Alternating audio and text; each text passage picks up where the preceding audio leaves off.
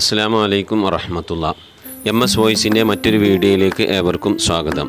പ്രിയമുള്ള നാലാം ക്ലാസ്സിലെ വിദ്യാർത്ഥികളെ തജ്വീദ് വാർഷിക പരീക്ഷയുടെ മോഡൽ ക്വസ്റ്റ്യൻ പേപ്പറാണ് വായിക്കാൻ പോകുന്നത്. എല്ലാവരും ടെക്സ്റ്റ് ബുക്ക് എടുക്കുക. ടെക്സ്റ്റ് ബുക്ക് എടുത്ത് നിവർത്തി വെക്കണം ഈ മോഡൽ ക്വസ്റ്റ്യൻ പേപ്പർ വായിക്കുന്നതിന്റെ മുമ്പായിക്കൊണ്ട്. എന്നിട്ട് ഞാൻ പേജ് നമ്പർ ഇത്രാമത്തെ പേജ് നിങ്ങളെടുത്ത് ഇത്രാമത്തെ വരിയിലേക്ക് നോക്കുക എന്ന് പറയുമ്പോൾ നിങ്ങൾ അതിലേക്ക് നോക്കണം. എന്നാലാണ് നിങ്ങൾക്ക് ഈ മോഡൽ ക്വസ്റ്റ്യൻ വായനയുടെ ഉത്തരം പറച്ചിൽ കൊണ്ട് നിങ്ങൾക്ക് ഉപകാരപ്പെടുള്ളൂ. ഞാനൊരു ചോദ്യം ചോദിച്ച് അതിന്റെ ഉത്തരം ഞാൻ അങ്ങോട്ട് പറഞ്ഞു തന്ന് നിങ്ങൾ ആ ഓക്കെ എന്നും പറഞ്ഞ് പോയത് കൊണ്ടൊന്നും കാര്യമില്ല. മറ്റുള്ള വിഷയങ്ങളൊക്കെ ആണെങ്കിൽ ഓക്കെ അപ്പോൾ ലിസാന് അതുപോലെ തന്നെ തജ്വീദ് നമ്മൾ ശ്രദ്ധിച്ച് പഠിക്കേണ്ട ഒരു വിഷയമാണ്. ആയതുകൊണ്ട് നിങ്ങൾ ആദ്യം എന്ത് ചെയ്യുക? ടെക്സ്റ്റ് ബുക്ക് എടുക്കുക. നോക്കുക എന്നിട്ട്. ഒന്നാമത്തെ ക്വസ്റ്റ്യൻ ഉദാഹരണങ്ങൾ വേർതിരിക്കാമെന്നാണ്. കുറച്ച് ഉദാഹരണങ്ങൾ ഇതിൽ കൊടുത്തിട്ടുണ്ട്. അല്ലേ കാണുന്നുണ്ടല്ലോ അല്ലേ അത്തവാബു അസ്സലാമു അൽഹംദുലില്ലാ അൽ മുസ്തഖീം അസ്സക്കാത്തു അൽ ബാരിഉ എന്നൊക്കെയാണ് ചോദ്യങ്ങൾ കൊടുത്തിട്ടുള്ളത് ഉത്തരങ്ങൾ കൊടുത്തിട്ടുള്ളത്. ഇതിൽ നിന്ന് നമുക്ക് ഈ ഇതൊക്കെ ഒരു ഉദാഹരണങ്ങളാണ്. എന്തിന്റെ ഉദാഹരണങ്ങൾ? അൽ ഹുറൂഫുൽ കമരിയയുടെ ഉദാഹരണങ്ങൾ ഇതിലുണ്ട്. അൽ ഹുറൂഫുൽ ഷംസിയയുടെ ഉദാഹരണങ്ങൾ ഇതിലുണ്ട്. വളരെ സിമ്പിളാണ്. പക്ഷേ ആദ്യം എന്ത് ചെയ്യണം? കമരിയയുടെ അർഫുകൾ അൽ ഹുറൂഫുൽ കമരിയ ഏതാണെന്ന് മനസ്സിലാക്കണം. അൽ ഹുറൂഫുൽ ഷംസിയ ഏതാണെന്ന് മനസ്സിലാക്കണം. അത് മനസ്സിലാക്കിയാൽ മാത്രമേ നിങ്ങൾക്ക് ആൻസർ ചെയ്യാൻ പറ്റുള്ളൂ. അപ്പോൾ അതിനുള്ള ഒരു എളുപ്പ വഴിക്ക് നിങ്ങൾ എന്ത് ചെയ്യണം? പാഠം പതിനാല് എടുക്കുക. പാഠം പതിനാല് എല്ലാവരും മറിക്കൂ. എന്നിട്ട് അൽ ഹുറൂഫുൽ കമരിയ എന്നതിലേക്ക് നോക്കൂ. ഇതിൽ നമ്മൾ കുറച്ച് ഉദാഹരണങ്ങളൊക്കെ ടെക്സ്റ്റ് ബുക്കിൽ തന്നിട്ടുണ്ട്. അതിലൊക്കെ നോക്കുക അതിന്റെ അടിയിൽ എഴുതിക്കണ കണ്ട. മുകളിൽ കാണുന്ന ഉദാഹരണങ്ങൾ ശ്രദ്ധിക്കുക. ഇസ്മുകളിൽ ചേർന്നു വന്ന അൽ എന്നതിലെ സാക്കിനായ ലാമിനെ വ്യക്തമായി പറയുന്നില്ല.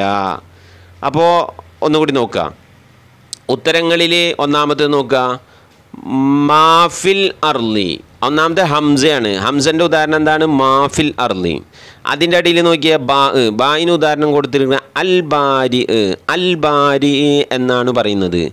ലാമിന് സാക്കിനായിട്ടാണ് എന്നതിലെ അൽ എന്നതിലെ സാക്കിനായ ലാമിനെ വ്യക്തമായി പറയുന്നു. അൽ എന്ന് വ്യക്തമാക്കി ലാമിന് സുക്കൂൻ കൊടുത്ത് ഇവിടെ പറയുന്നുണ്ട്. അൽ ബാരി ഉ അൽ എന്ന് ലാമിന് സുക്കൂൻ കൊടുത്ത് ലാമിനെ വ്യക്തമാക്കി പറയുന്നുണ്ട്. നോക്കിയാൽ അടുത്തത് ഗൈന്. അൽ ഗഫൂറു. ലാമ് നിങ്ങൾക്ക് കേൾക്കുന്നുണ്ടോ? ഉണ്ട്. അടുത്തത് ഹാ അൽ ഹംദു ലാമ് കേൾക്കുന്നുണ്ടോ? കേൾക്കുന്നുണ്ട്.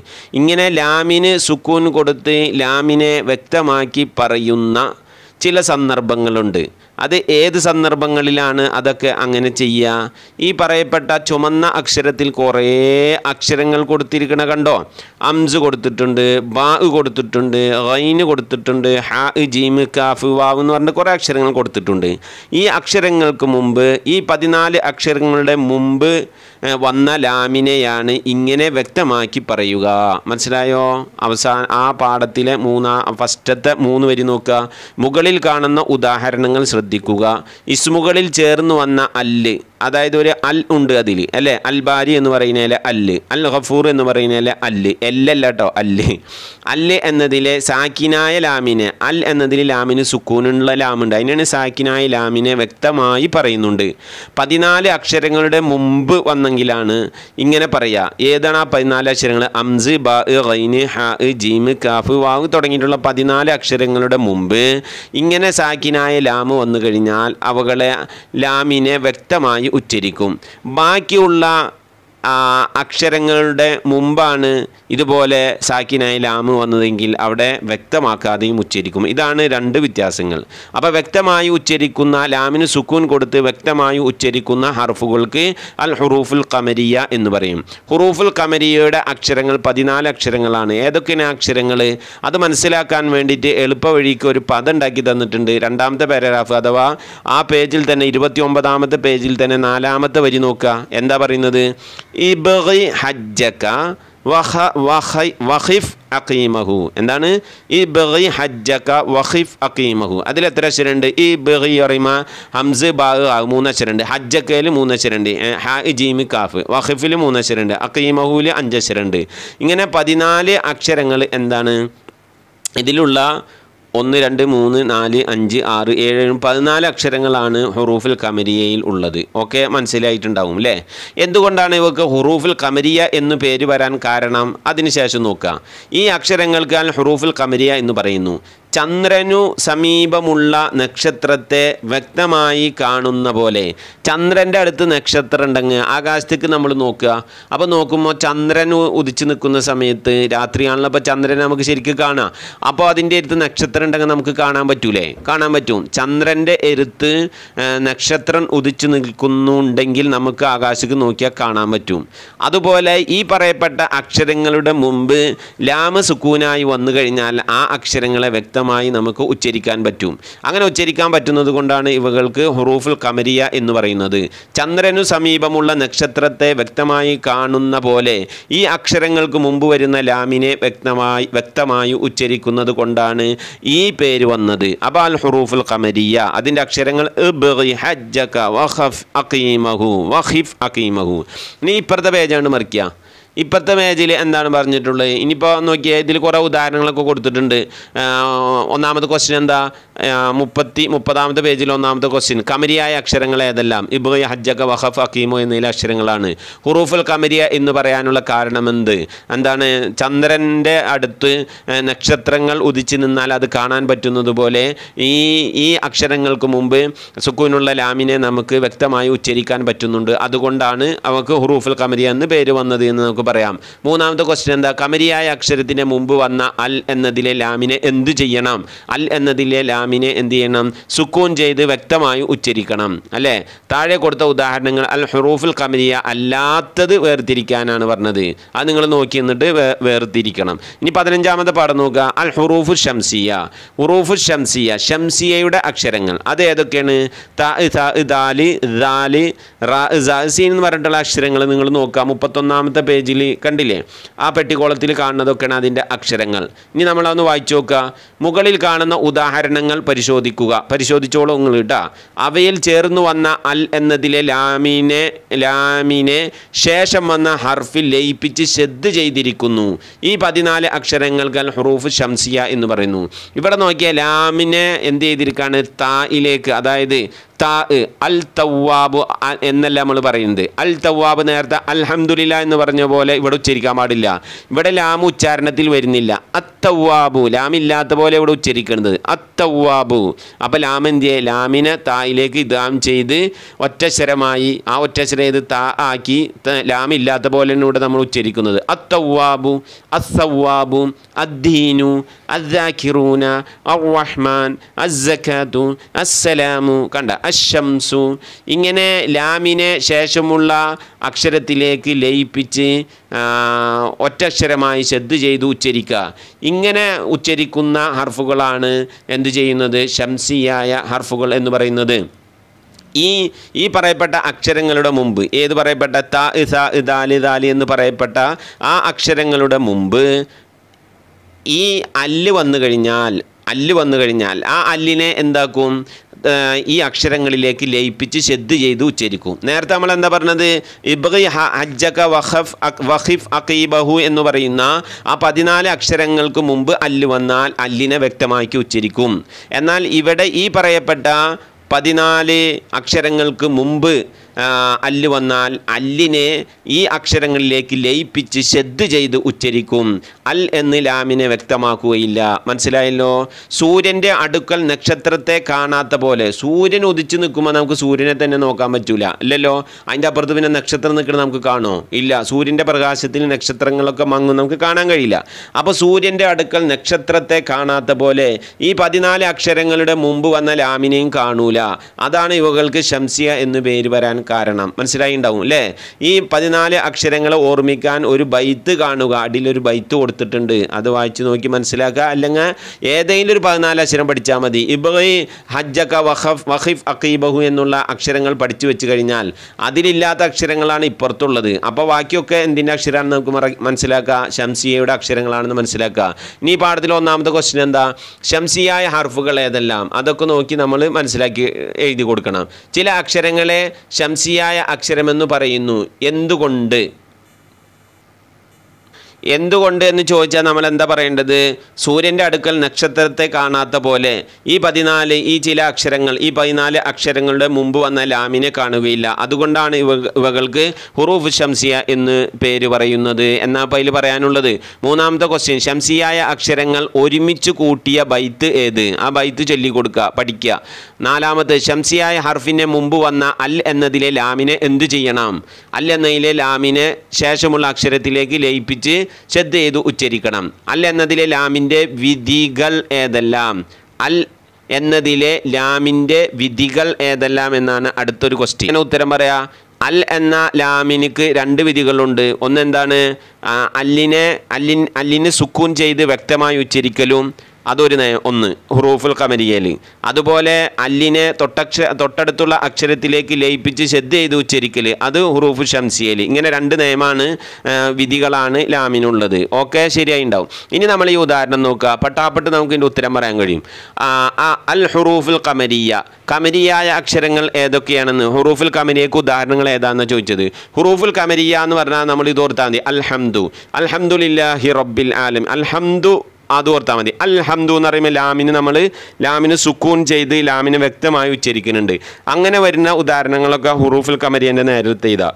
അപ്പോൾ ഏതൊക്കെയാണ്? അത്തവാബു ലാമിന് ഉച്ചാരണത്തിൽ വരണുണ്ടായില്ല. അസ്സലാമു വരണുണ്ടായില്ല. അൽഹന്ദു ആ അൽഹംദു കൂടെ ഉണ്ട്. അൽഹംദു എടുത്തെടുക്കുക. അൽ മുസ്തഖീം അത് എടുത്തേക്കുക അൽ ബാരി അത് എടുത്ത് എഴുതുക. ഏതിന്റെ നേരെ? ഹുറൂഫുൽ കമരിയന്റെ നേരെ. ഇങ്ങനെ ലാം ഉച്ചാരണത്തിൽ വരാത്ത ശ്രദ്ധ ചെയ്ത് ഉച്ചരിക്കുന്ന ലാമിനെ കേൾക്കാത്ത ഉച്ചരിക്കുമ്പോൾ കേൾക്കാത്ത പദങ്ങൾ. അത്തവാബു അൽ തവാബു എന്നാണ് ലാമിനെ തായിലേക്ക് ഇതാം ചെയ്തിക്കാണ്. അത്തവാബു അസ്സലാമു. അസ്സലാമിന് ലാമുണ്ട്. അതുപോലെ തന്നെ അസ്സക്കാത്തു അതിന് ലാമുണ്ട്. പക്ഷേ ഉച്ചാരണത്തിലില്ല ആ, അതിനെ വ്യക്തമാക്കണമില്ല. ഇങ്ങനത്തെ ഒക്കെ എടുത്തിട്ട് ഹുറൂഫ് ഷംസിയയിൽ എഴുതാം. ഓക്കെ? യോജിച്ചവ ചേർക്കാം. തഫ്ഹീം ഉത്തരങ്ങൾ ഇവിടെ ഉണ്ട് കേട്ടോ തഫ്ഹീം മദ് തഫ്ഹീം എന്ന് പറഞ്ഞാൽ അറിയില്ല തഫ്ഹീം തർക്കീക്ക് എന്ന് പറഞ്ഞിട്ട് രണ്ട് നിയമങ്ങളുണ്ടല്ലോ. റായിനെ തഫ്ഹീമും തർക്കീക്കും ലാമിനെയും റായിനെയും തഫ്ഹീമും തർക്കീക്കുമായി ഉച്ചരിക്കുക എന്ന് പറഞ്ഞിട്ടൊക്കെ പഠിച്ചിട്ടില്ലേ? തഫ്ഹീം അതുപോലെ മദ് മദ് പറഞ്ഞാൽ നീട്ടുക. ഈ മാലത്ത് പറഞ്ഞാൽ എന്താ? ചെരിച്ച് ഉച്ചരിക്കുക അല്ലേ? പിന്നെന്താണ് അഞ്ച് അവസരങ്ങളിലാണ് അതുപോലെ തന്നെ ലാമുൽ ജലാല ജലാലത്തിന്റെ ലാമ്. മൂന്ന് തൊബയി ഇത്രയും ഉദാഹരണങ്ങളാണ് ബ്രാക്കറ്റിലുള്ളത് ഉത്തരങ്ങൾ. അതെടുത്തിട്ട് യോജിച്ച സ്ഥലത്തെടുത്ത് ഫില്ല് ചെയ്യണം. ഒന്നാമത്തെ എന്താണ്? സ്വരത്തിൽ ഉച്ചരിക്കലാണ് എന്ത്? സ്വരത്തിൽ ഉച്ചരിക്കുന്ന ആകൊരു ഉദാഹരണമാണ് ഖുർആാനിലുള്ളൂ. അതിനെ പറയുന്ന പേരെന്താണ്? അതിന്റെ ഉത്തരമറിയാൻ വേണ്ടി നിങ്ങളെ പേജ് നമ്പർ പേജ് നമ്പർ ഇരുപത്തഞ്ച് എടുക്കുക. ഇരുപത്തഞ്ചിൽ ഫസ്റ്റ് പാരഗ്രാഫ് നോക്കുക. ഖായിദ റായിനെ തർക്കിക്കാക്കുന്ന സ്ഥലങ്ങൾ നാലാകുന്നു. കണ്ട നോക്കിയാ നോക്കിയാ. പെട്ടെന്ന് എടുക്ക്. എന്നിട്ട് ഒന്ന് ഇട്ടിട്ട് കണ്ട. റാ ഇന്റെ ഹർക്കത്ത് കസറാവുക.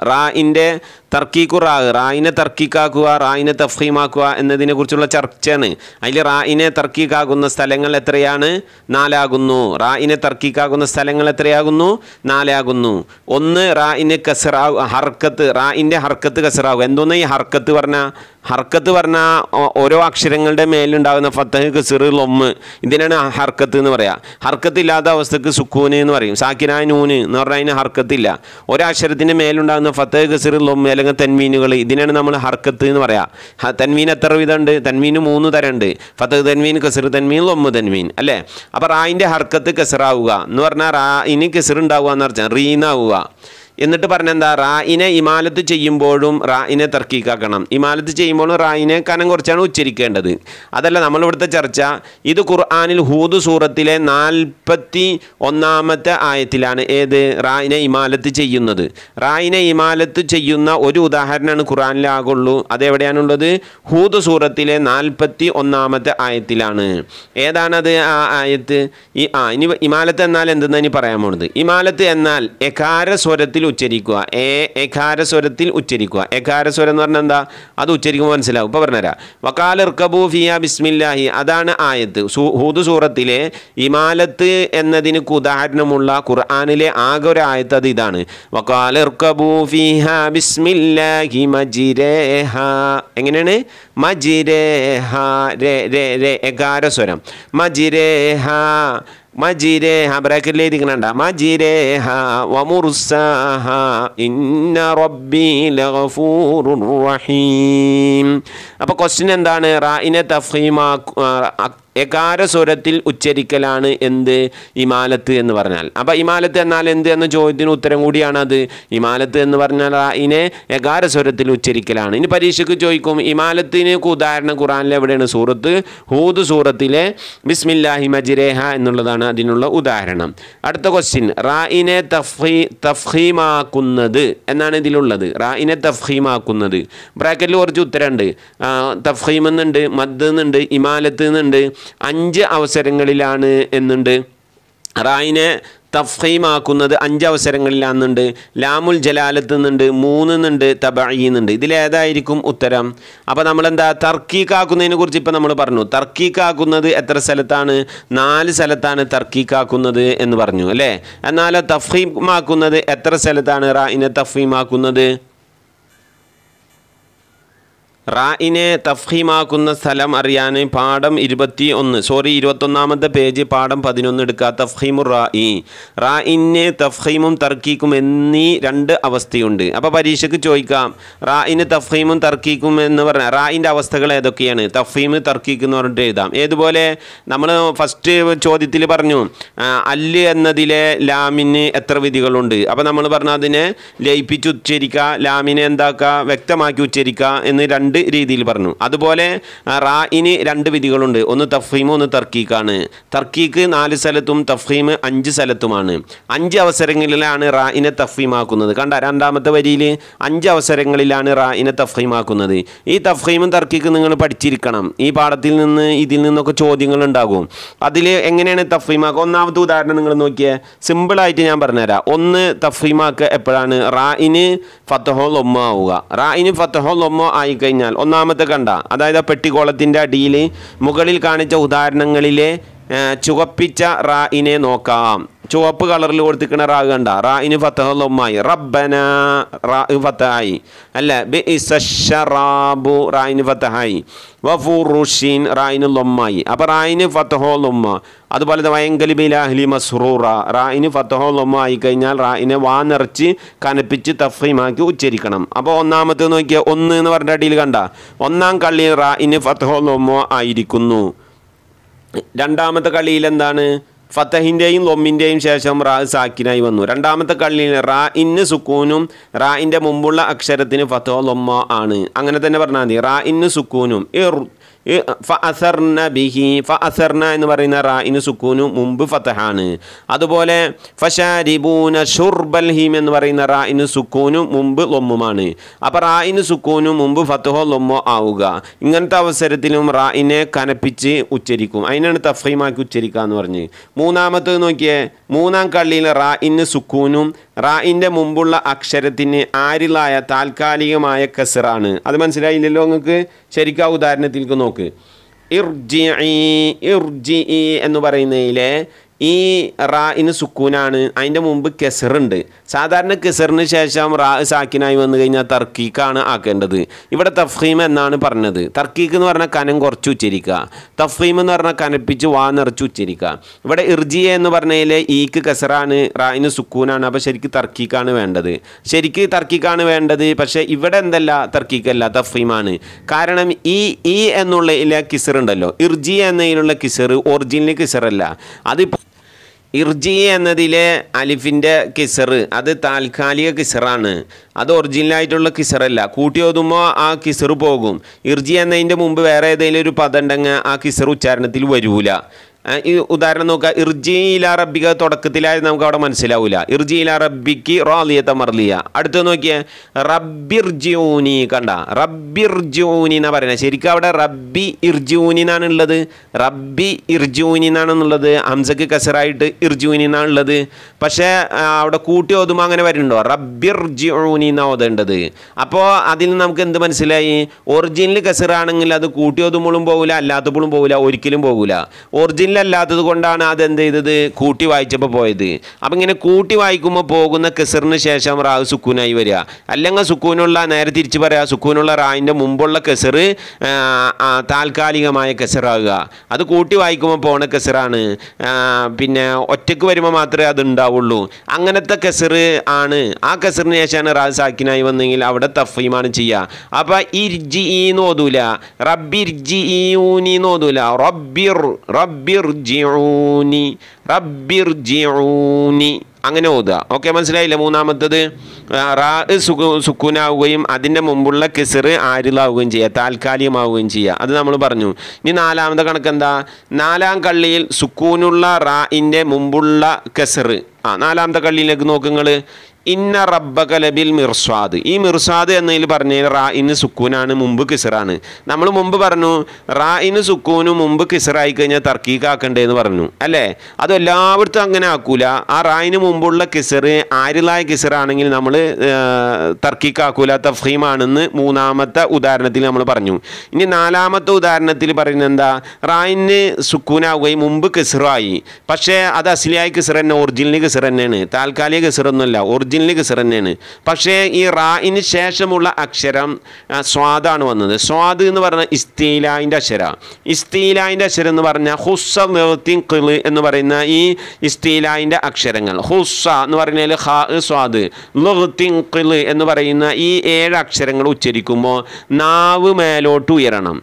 നാവ് മേലോട്ട് ഉയരണം. തർക്കീക്ക് എന്ന് പറഞ്ഞാൽ നാവിനെ താത്തി താത്തി ഉച്ചരിക്കുന്നതാണ്. ഇതെന്താണ്? നാവിനെ മേലോട്ട് ഉച്ചരിക്കലാണ് തഫീം തഫീമും അങ്ങനെ തന്നെ ഇസ്തീലാന്റെ അക്ഷരങ്ങൾ അങ്ങനെ തന്നെ. ഇസ്തീല എന്ന് പറഞ്ഞാൽ നാവ് മേലോട്ട് ഉയരണമെന്ന. എന്നാ അപ്പോൾ പിന്നെ ഈ റായിനെ തർക്കീക്കാക്കുക എന്ന് പറഞ്ഞാൽ നാവിനെ താഴ്ത്തി കനം കുറച്ച് ലഘുവാക്കി ഉച്ചരിക്കലാണ്. പക്ഷേ ഇസ്തീല എന്ന് പറഞ്ഞാൽ അതിന്റെ ഓപ്പോസിറ്റ് ചെയ്യേണ്ട കാര്യമാണ്. അപ്പോൾ ഇത് രണ്ടും അടുത്തടുത്ത് വന്നാൽ ഉച്ചരിക്കാൻ ബുദ്ധിമുട്ടാണ്. ആയതുകൊണ്ട് ഇവിടെ ഇസ്തീലാന്റെ അക്ഷരം വന്നതുകൊണ്ട് അവിടെ തർക്കിക്കാക്കൂല. എന്ത് ചെയ്യുള്ളൂ? തഫീം തന്നെ ആക്കുള്ളൂ. ഒന്നും കൂടി റായിന് സുക്കൂനാവുകയും അതിന്റെ മുമ്പ് കെസറാവുകയും ചെയ്തു. ആ കെസർ എന്തെന്നെയാണ് ഒറിജിനൽ തന്നെയാണ് താൽക്കാലികമൊന്നല്ല പക്ഷേ റായിന് ശേഷം വരുന്ന അക്ഷരം ഇസ്തീലായിന്റെ അക്ഷരമാവാൻ പാടില്ല. ഇസ്തീലായിന്റെ അക്ഷരമാണെങ്കിൽ എന്ത് ചെയ്യും? തഫീമാക്കും ഇസ്തീലായിന്റെ അക്ഷരമാണെങ്കിൽ ഇസ്തീലായിന്റെ അക്ഷരം അല്ലെങ്കിൽ തർക്കീക്കാക്കും. മനസ്സിലായ? ഇസ്തീലായിന്റെ അക്ഷരം ഉച്ചരിക്കുമ്പോൾ നാവ് മുകളിലേക്ക് ഉയരുന്നതാണ്. അപ്പോൾ അതായത് തഫീമിന്റെ അവസ്ഥയാണ് അവിടെ വരുന്നത്. അപ്പോൾ അതുകൊണ്ട് അവിടെ നമുക്ക് തർക്കീക്കാക്കാൻ പറ്റൂല. അപ്പോൾ റായിന് ശേഷം ഇസ്തി ഇസ്തീലായിന്റെ അക്ഷരമാണെങ്കിൽ അവിടെ തഫീമാക്കും ഇസ്തീലായിന്റെ അക്ഷരമല്ല. ഈ ഹുസ്സ ലേത്തിൻ കിൾ എന്ന് പറയുന്ന ഏഴക്ഷരമല്ലാതെ ദുനിയാവിലുള്ള ഏതക്ഷരം വന്നാലും സുക്കൂനുള്ള റായിന് മുമ്പ് കെസറാണ്. ശേഷം ഏതക്ഷരം വന്നാലും എന്ത് ചെയ്യും? ഹുസ്സൽ ലേത്തിൻ എന്നുള്ള ഏഴക്ഷരം ഒഴികെയുള്ള ഏതക്ഷരം വന്നാലും തർക്കിക്കാക്കും. ശരിയായല്ലോ? മിർസാദ്. കണ്ട ഫിർക്ക ഹുസ്സ ലിഗ്തിൻ എന്ന് പറയുന്നതിൽ കാഫു വന്നോടെ. ഫിർക്ക എന്ന് പറയുന്നതിൽ ഫിർഖത്തിൻ എന്ന് പറയുന്നതിൽ നാലാമത്തെ ഉദാഹരണം കണ്ടോ? ഫലൗല നഫറ മിൻ കുല്ലി ഫിർഖത്തിൻ. അവിടെ ഫിർക്കത്തി എന്ന് ഓതൂല മിർസാദ് എന്ന് ഓതൂല ഫിർക്കത്ത് എന്ന് ഓതൂല. ഫിർഖത്ത് എന്ന് പറഞ്ഞ് റായിന് തഫീം ചെയ്തു ഓതണം. കാരണം എന്താണ്? റായിന് സുക്കൂനാണ് മുമ്പ് കിസറക്ക് തന്നെയാണ് ഒറിജിനൽ തന്നെയാണ്. പക്ഷേ റായിന് സുക്കൂനുള്ള റായിന് ശേഷമുള്ള കാഫ് എന്തായിപ്പോയി? അത് ഇസ്തീലായിന്റെ അക്ഷരമായി പോയി അതുകൊണ്ട് അവിടെ എന്ത് ചെയ്യണം? പിന്നെ തഫീം ചെയ്യണം. അപ്പോൾ നാലാമത്തെ ഒന്നും കൂടി നിങ്ങളൊന്ന് വായിച്ചു വെക്കുകയാണെങ്കിൽ നാലാം കള്ളിയിൽ സുക്കൂനുള്ള റാ ഇന്റെ മുമ്പുള്ള കെസർ അസിലിയായിരിക്കെ അത് ഒറിജിനൽ തന്നെയാണ്. പക്ഷേ റായിന് ശേഷമുള്ള അക്ഷരം ഇസ്തീലായിന്റെ അക്ഷരമാണ്. ആയതുകൊണ്ട് അവിടെ നമുക്ക് തഫീം ചെയ്യാനേ പറ്റുകയുള്ളൂ. ശരിയായോ? ഇനി അഞ്ചാമത്തെ ഒരു ഇച്ചിരി കണിയുള്ളതാണ് അഞ്ചാമത്തെ നോക്കുക. അഞ്ചാം കള്ളിയിൽ വഖഫിന്റെ സമയത്ത് റായിന് സുക്കൂന് വരുന്നുണ്ട്. റായിന് സുക്കൂന് വരുന്നുണ്ട്. വഖഫ് ചെയ്യുമ്പോൾ നമുക്ക് വഖഫ് ചെയ്യാന്ന് പറഞ്ഞാൽ എന്താ? ഓത്ത് നിർത്താൻ വേണ്ടി ശ്വാസം വിടലാണ്. അത് ചിലപ്പോൾ നമ്മൾ സുക്കൂനുമിലാണ് അധികം വക്കുഫ് ചെയ്ത് നിർത്തുക അപ്പോൾ എന്താണ്? കിസറാണെങ്കിലും ഫത്തഹാണെങ്കിലും ലൊമ്മാണെങ്കിലും നമ്മൾ കൊണ്ട് സുക്കൂൻ ചെയ്തിട്ടാണ് നിർത്തുക അങ്ങനെ വരുമ്പോൾ റായിന് സുക്കൂന് വരുന്നുണ്ട്. പക്ഷേ റായിന്റെ മുമ്പുള്ള അക്ഷരത്തിന് അക്ഷരത്തിന് സുക്കൂനാണ്. റായിന് സുക്കൂന് വരുന്നുണ്ട് അതിന്റെ മുമ്പുള്ള അക്ഷരത്തിന് സുക്കൂനാണ്. അതിന്റെയും മുമ്പുള്ള അക്ഷരത്തിന് ഫത്തഹോ ലൊമ്മോ വന്നിട്ടുണ്ടെങ്കിൽ ഈ അഞ്ച് രൂപത്തിലും റായിന് തഫീമാക്കും ഉദാഹരണം പറഞ്ഞാൽ നമുക്ക് മനസ്സിലാകും നിങ്ങൾ നോക്കി. വൽ അശ്രി എന്നാണുള്ളത്. നോക്കി കണ്ണൂർപ്പിച്ച് നോക്കി അഞ്ചാമത്തെ ഇത്. വൽ അശ്രി എന്നല്ലേ ഉള്ളത്? വൽ അശ് വൽ അസിരി എന്നാണുള്ളത്. കണ്ടോ? വൽ അശ്വരി. അപ്പോൾ റായിൻ എന്താണ്? കിസറാണ്. ശരിക്കും കിസറാണ്. പക്ഷെ നമ്മളവിടെ നിർത്താണെങ്കിലോ വൽ അസ്റ് പറഞ്ഞ് റായിന് സുക്കും കൊടുത്തു. റായിന് സുക്കും കൊടുത്തപ്പോൾ അതിന്റെ മുമ്പുള്ള അക്ഷരം സ്വാധീനം എന്തായി? സുക്കൂനുമായി. അപ്പോൾ ഇപ്പോൾ രണ്ടക്ഷരത്തിന് സുക്കൂനായി. ഇനിയിപ്പോൾ എന്താ ഇപ്പോൾ കാട്ടുക? നമ്മൾ റായിന് സുക്കൂനായി കഴിഞ്ഞാൽ അതിന് തൊട്ടുള്ള മുമ്പ് മുമ്പുള്ള അക്ഷരത്തിന് ഫത്തഹോ ലൊമ്മോ ആണെങ്കിൽ തർക്കിക്കാക്കും പറഞ്ഞു. ഈ തൊട്ടു മുമ്പുള്ള അക്ഷരത്തിന് എന്താണ്? ഒരു അർക്കത്തുമില്ല ഫത്തവും ഇല്ല ഗസറുമില്ല ലൊമ്മൂല്ല സുക്കൂനാണ്. അപ്പം ഇനിയിപ്പോൾ എന്താ കാട്ടുക? അതാണ് ഇവിടെ പറയുന്നത്. വൽ അസുർ നമ്മൾ ആദ്യം പറഞ്ഞതിൽ കണ്ട റബ്ബന നോക്കൂ മേലത്തേൽ നോക്കൂ ഒന്നാമത്തേക്ക് നോക്കൂ. റബ്ബന എന്ന് പറഞ്ഞതിൽ റായിന് ഫത്തഹായി. രണ്ടാമത്തിൽ എന്ന് പറഞ്ഞു നമ്മൾ ഫ അസർന എന്ന് പറഞ്ഞതിൽ റായിന് സുക്കൂന് മുമ്പുള്ള അശ്വരത്തിന് ഫത്തഹായി. ഫഷാരിബൂന ഷുർബ എന്ന് പറഞ്ഞിടത്ത് റായിന് സുക്കൂന് മുമ്പുള്ള അക്ഷരം ലൊമ്മായി. ഇവിടെ നോക്കിയ വൽ അസുർ എന്ന് പറയുന്നിടത്ത് റായിനെ നമ്മൾ വഖഫ് ചെയ്യുമ്പോൾ റായിന് സുക്കൂനായി. അതിന് മുമ്പുള്ള അശ്വരത്തിന് ഫത്തഹുല്ല ഇല്ല ലൊമ്മും ഇല്ല കിസറായി കഴിഞ്ഞാൽ പിന്നെ എന്തായിരുന്നാലും തർക്കീക്കാണ്. പക്ഷേ ഇവിടെ എന്താണ് സ്വാദിന് സുക്കൂനാണ്. അപ്പോൾ നമ്മൾ എന്ത് ചെയ്യണം തൊട്ട് മുമ്പുള്ള അക്ഷരത്തെ നോക്കണം. തൊട്ടുള്ള അക്ഷരത്തിന് അ- അക്ഷരത്തിന് ആണെങ്കിൽ തഫീം ചെയ്യണം. തൊട്ട് മുമ്പുള്ള അക്ഷരത്തിന് കെസറാണെങ്കിൽ തർക്കീക്ക് ചെയ്യണം. ഇതാ ഇപ്പോൾ ഈ പറഞ്ഞത് അഞ്ചാമത്തത്. അപ്പോൾ ഒന്നുകൂടി പറഞ്ഞേ. റായിന് വക്കുഫ് ചെയ്യുമ്പോൾ സുക്കൂന് വരികയും അതിന്റെ മുമ്പുള്ള അക്ഷരത്തിന് സുക്കൂനാവുകയും ചെയ്താൽ അതിനേ മുമ്പുള്ള അക്ഷരത്തിന് അഥവാ വൽ അസുർ എന്ന് പറയുന്നതിൽ ഐനിന് ഫത്തോ ലൊമ്മോ ആണെങ്കിൽ തഫീം ചെയ്യുക കിസർ ആണെങ്കിൽ തർക്കീക്ക് ചെയ്യുക. ഇങ്ങനെയാണ് പറഞ്ഞത്. അപ്പോൾ അഞ്ചാമതൊന്നും കൂടി വായിക്കുക. അഞ്ചാം കള്ളിയിൽ വക്കുവിന്റെ സമയത്ത് റായിന് സുക്കൂൻ വരുന്നുണ്ട്. വൽ അസുർ എന്നതിൽ റായിന് സുക്കൂൻ വരുന്നുണ്ട്. റായിന്റെ മുമ്പുള്ള അക്ഷരത്തിന് സുക്കൂനാണ് സ്വാദിന് സുക്കൂനാണ്. അതിനെ മുമ്പുള്ള അക്ഷരത്തിന് ഫത്തഹോ ലൊമ്മോ വന്നിട്ടുണ്ട്. എങ്കിൽ അവിടെ റായിനെ എന്ത് ചെയ്യണം? തഫീമാക്കണം അപ്പോൾ തഫീമിന്റെ അഞ്ച് ഉദാഹരണങ്ങൾ നമ്മൾ പറഞ്ഞു. അത് നിങ്ങൾ ശരിക്കും മനസ്സിലാക്കണം കേട്ടോ ഓക്കെ? അഞ്ച് ഉദാഹരണം അഞ്ച് നിയമം. തഫീമിന് അഞ്ച് സന്ദർഭത്തിലാണ് റായിനെ തഫീം ചെയ്യുക അഞ്ച് സന്ദർഭത്തിലാണ് റായിനെ തഫീം ചെയ്യുക നാല് സന്ദർഭത്തിലാണ് റായിനെ തർക്കിക്ക് ചെയ്യുക അത് നമുക്ക് പിന്നെ പറയാം. അപ്പോൾ ഇവിടെ എന്താണ്? റായിനെ തഫീമാക്കുന്നത് എത്ര സ്ഥലത്താണ്? അഞ്ച് അവസരങ്ങളിലാണ് എന്നാണ് നമ്മളെ രണ്ടിന്റെ ഉത്തരം. ഇനി മൂന്നാമത്തേന്റെ ഉത്തരം. ഇപ്പോൾ നിങ്ങൾക്ക് തോന്നുന്നുണ്ടാവും. പഠിച്ചോനെ ഇപ്പോൾ രണ്ട് ക്വസ്റ്റ്യൻ ആയിട്ടുള്ളൂ. ഉസ്താദ് ഇങ്ങനെ വായിച്ച് പോയത് ഇപ്പോൾ എന്ന് തീരാനാണെന്ന്. പക്ഷേ ഈ ഒരു ഈ ഒരു ക്വസ്റ്റ്യൻ നിങ്ങൾ വായിച്ച് അതിന്റെ ഉത്തരം കേട്ട് എന്റെ ഒപ്പം നിങ്ങൾ ടെക്സ്റ്റ് ബുക്ക് എടുത്ത് ഞാൻ പറഞ്ഞ പോലെ പേജ് നമ്പറൊക്കെ മറിച്ച് നിങ്ങൾ അതിൽ നോക്കിക്കഴിഞ്ഞാൽ അത് മതി നിങ്ങൾക്ക് ജയിക്കാനും അതിലേറെ മാർക്ക് കിട്ടാനും. ഈ ഒരൊറ്റ മോഡൽ ക്വസ്റ്റ്യൻ നിങ്ങൾ വായിച്ചാൽ മതി. അപ്പോൾ ഒന്ന് ക്ഷമിച്ച് എന്റെ കൂടെ ഇരുന്നിട്ട് നിങ്ങളാണ് വേണമെന്ന് വിചാരിച്ചുകൊണ്ട് പഠിച്ചോളിയും കേട്ടാ? മൂന്നാമത്തെ ക്വസ്റ്റ്യൻ അടുത്ത കൊല്ലം പൊതുപരീക്ഷയ്ക്ക് വരണ്ടല്ലേ അല്ല തൗഫിക്ക് ചെയ്യട്ടെ. മൂന്നാമത്തെ ക്വസ്റ്റ്യൻ വായ നിറയും വിധം ശബ്ദം നൽകുന്നതിന് പറയുന്ന പേരെന്താണ്? അതൊക്കെ ഇപ്പോൾ ഇവിടെ നമ്മളിപ്പോൾ പറഞ്ഞു കഴിഞ്ഞു അല്ലേ? വായ നിറയും രീതിയിൽ ശബ്ദം പറയുന്നതിന് പറയുന്ന പേരാണ് എന്ത്? ഏ തഫ്ഹീമ് പാഠം പത്ത് എടുക്കുക. പേജ് നമ്പർ ഇരുപത്. അ തഫ്ഹീമു അ അറബി അക്ഷരങ്ങൾക്ക് രണ്ടവസ്ഥയുണ്ട് ഒന്നെന്താണ് തഫ്ഹീമ്. കനപ്പിക്കുക. രണ്ട് തർക്കീക്കു നേർപ്പിക്കുക. പരീക്ഷയ്ക്ക് വരും. അറബി അക്ഷരങ്ങൾ രണ്ടവസ്ഥ. തഫീമ് തർക്കീക്ക് അല്ലെങ്കിൽ പരീക്ഷയ്ക്ക് എങ്ങനെ ഉണ്ടാവും? ചേരുമ്പടി ചേർക്കാനോ അല്ലെങ്കിൽ വിട്ടത് പൂരിപ്പിക്കാനോ ഒക്കെ തഫീമ് എന്ന് കൊടുത്തിട്ടുണ്ടാവും എന്നിട്ട് അപ്പുറത്ത് കനപ്പിക്കാതെ നേർപ്പിക്കാന്നുണ്ടാവും. അപ്പോൾ തഫീമ് കനപ്പിക്കലാണ്. തർക്കീക്ക് നേർപ്പിക്കലാണ്. നാവിന്റെ ഗതി ഉയരൽ കൊണ്ട് തഫീമും താഴൽ കൊണ്ട് തർക്കീക്കും ഉണ്ടാകും അപ്പം നാവിന്റെ ഗതി മേലേക്ക് ഉയരുമ്പോൾ തഫീമ ഉണ്ടാകുക. നമ്മൾ നേരത്തെ പറഞ്ഞു ഇസ്തീലായിന്റെ അക്ഷരങ്ങൾ ഉച്ചരിക്കുമ്പോൾ നാവിന്റെ ഗതി മേലേക്ക് ഉയരും. അപ്പോൾ അവിടെ നടക്കുന്നത് തഫീമാണ് അപ്പോൾ തർക്കീക്കിൽ നിന്ന് ഒരക്ഷ നാവിനെ താഴ്ത്തി കണ്ട് താത്തിയിട്ട് തർക്കീക്ക് എന്ന് പറഞ്ഞാൽ നാവിന്റെ ഗതി താഴേക്ക് പോലാണ്. നാവിന്റെ അവസ്ഥ താഴേക്ക് പോലാണ്. അപ്പോൾ താഴേക്ക് കൊണ്ടുപോയിട്ട് അപ്പം തന്നെ മേലെ കൊണ്ടുപോകാൻ ബുദ്ധിമുട്ടാണ്. അപ്പോൾ നോക്കിയാൽ താഴെ കൊണ്ട് താഴെ കൊണ്ട് തർക്കീക്കും ഉണ്ടാകും അപ്പം നാവിന്റെ ഗതി മേലേക്ക് ഉയരൽ കൊണ്ട് തഫീമും നാവിന്റെ ഗതി താഴേക്ക് പോകൽ കൊണ്ട് തർക്കിക്കും ഉണ്ടാകും. ഇസ്തീലായിന്റെ അർഫുകൾ ഹുസ്സൽ തിങ്കൽ. കണ്ട? അക്ഷരങ്ങൾ കണ്ടോ? കണ്ണുറപ്പിച്ച് നോക്കിച്ചോളി കേട്ടാ.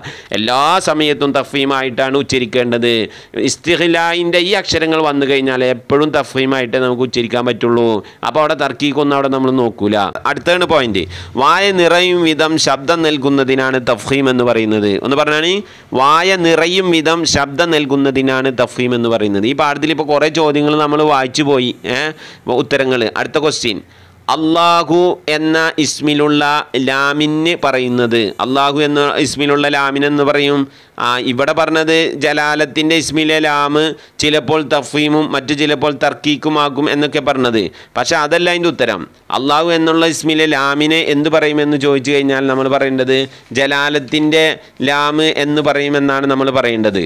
എന്തിന്റെ ലാമ്? ജലാലത്തിന്റെ ലാമ്.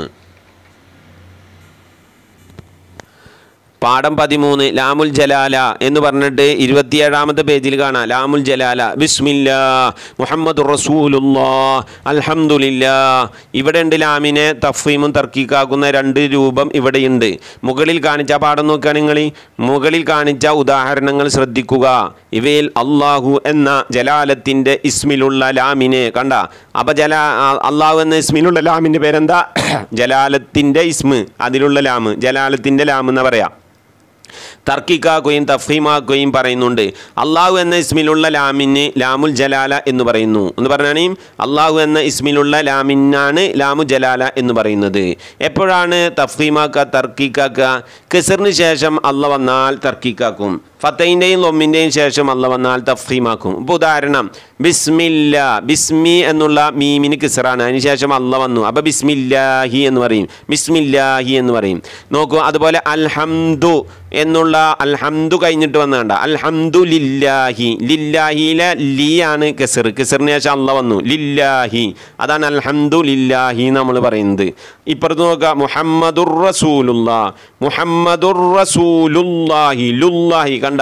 ലാമിന് ലൊമ്മാണ് ലൊമ്മിനേശ അല്ല വന്ന് അപ്പോൾ റസൂലുല്ലാ എന്ന് തഫീമാക്കി പറഞ്ഞ്. സുബഹാൻ അള്ളാഹി അള്ളന്റെ മുമ്പ് കണ്ട സുബഹാന എന്നുള്ള നൂനിന് ഫത്തഹ് വന്നു. അപ്പം എന്തായി? അതിനെ നമ്മൾ തഫീമാക്കി സുബഹാൻ അള്ളാഹി എന്ന് പറഞ്ഞു. ഇതാ നസ്റുല്ലാഹി. അപ്പം ഇതിൽ നിന്ന് ലാ ജലാലത്തിന്റെ ലാമ് അള്ളാഹ് എന്ന ഇസ്മിനെ തഫീമും തർക്കിക്കും എപ്പോഴാക്കുക? ഫത്തൈന്റെയും ലൊമ്മിന്റെയും ശേഷം അള്ള വന്നാൽ തഫീമും കിസറിന്റെ ശേഷം അള്ള വന്നാൽ തർക്കീക്കുമാക്കും. ഓക്കെ? നമ്മളെ ചോദ്യം എന്താണ്?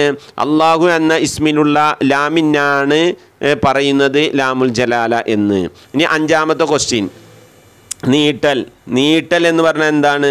അത് മദ്ദാണ് അല്ലേ മദ്ദിന്റെ പാഠം വരുമെന്നൊക്കെ അവിടെ ചർച്ച ചെയ്യാം. നീട്ടുന്നതിനെ മദ് എന്ന് പറയും അല്ലേ? ആറാമത്തത് സുക്കൂനുള്ള മീമിന്റെ നിയമങ്ങൾ. അയ്യവ സുക്കൂനുള്ള മീമിന് എത്ര നിയമങ്ങളുണ്ട്? സുക്കൂനുള്ള നീ മീമിന് മൂന്ന് നിയമങ്ങളാണ് ഉള്ളത്.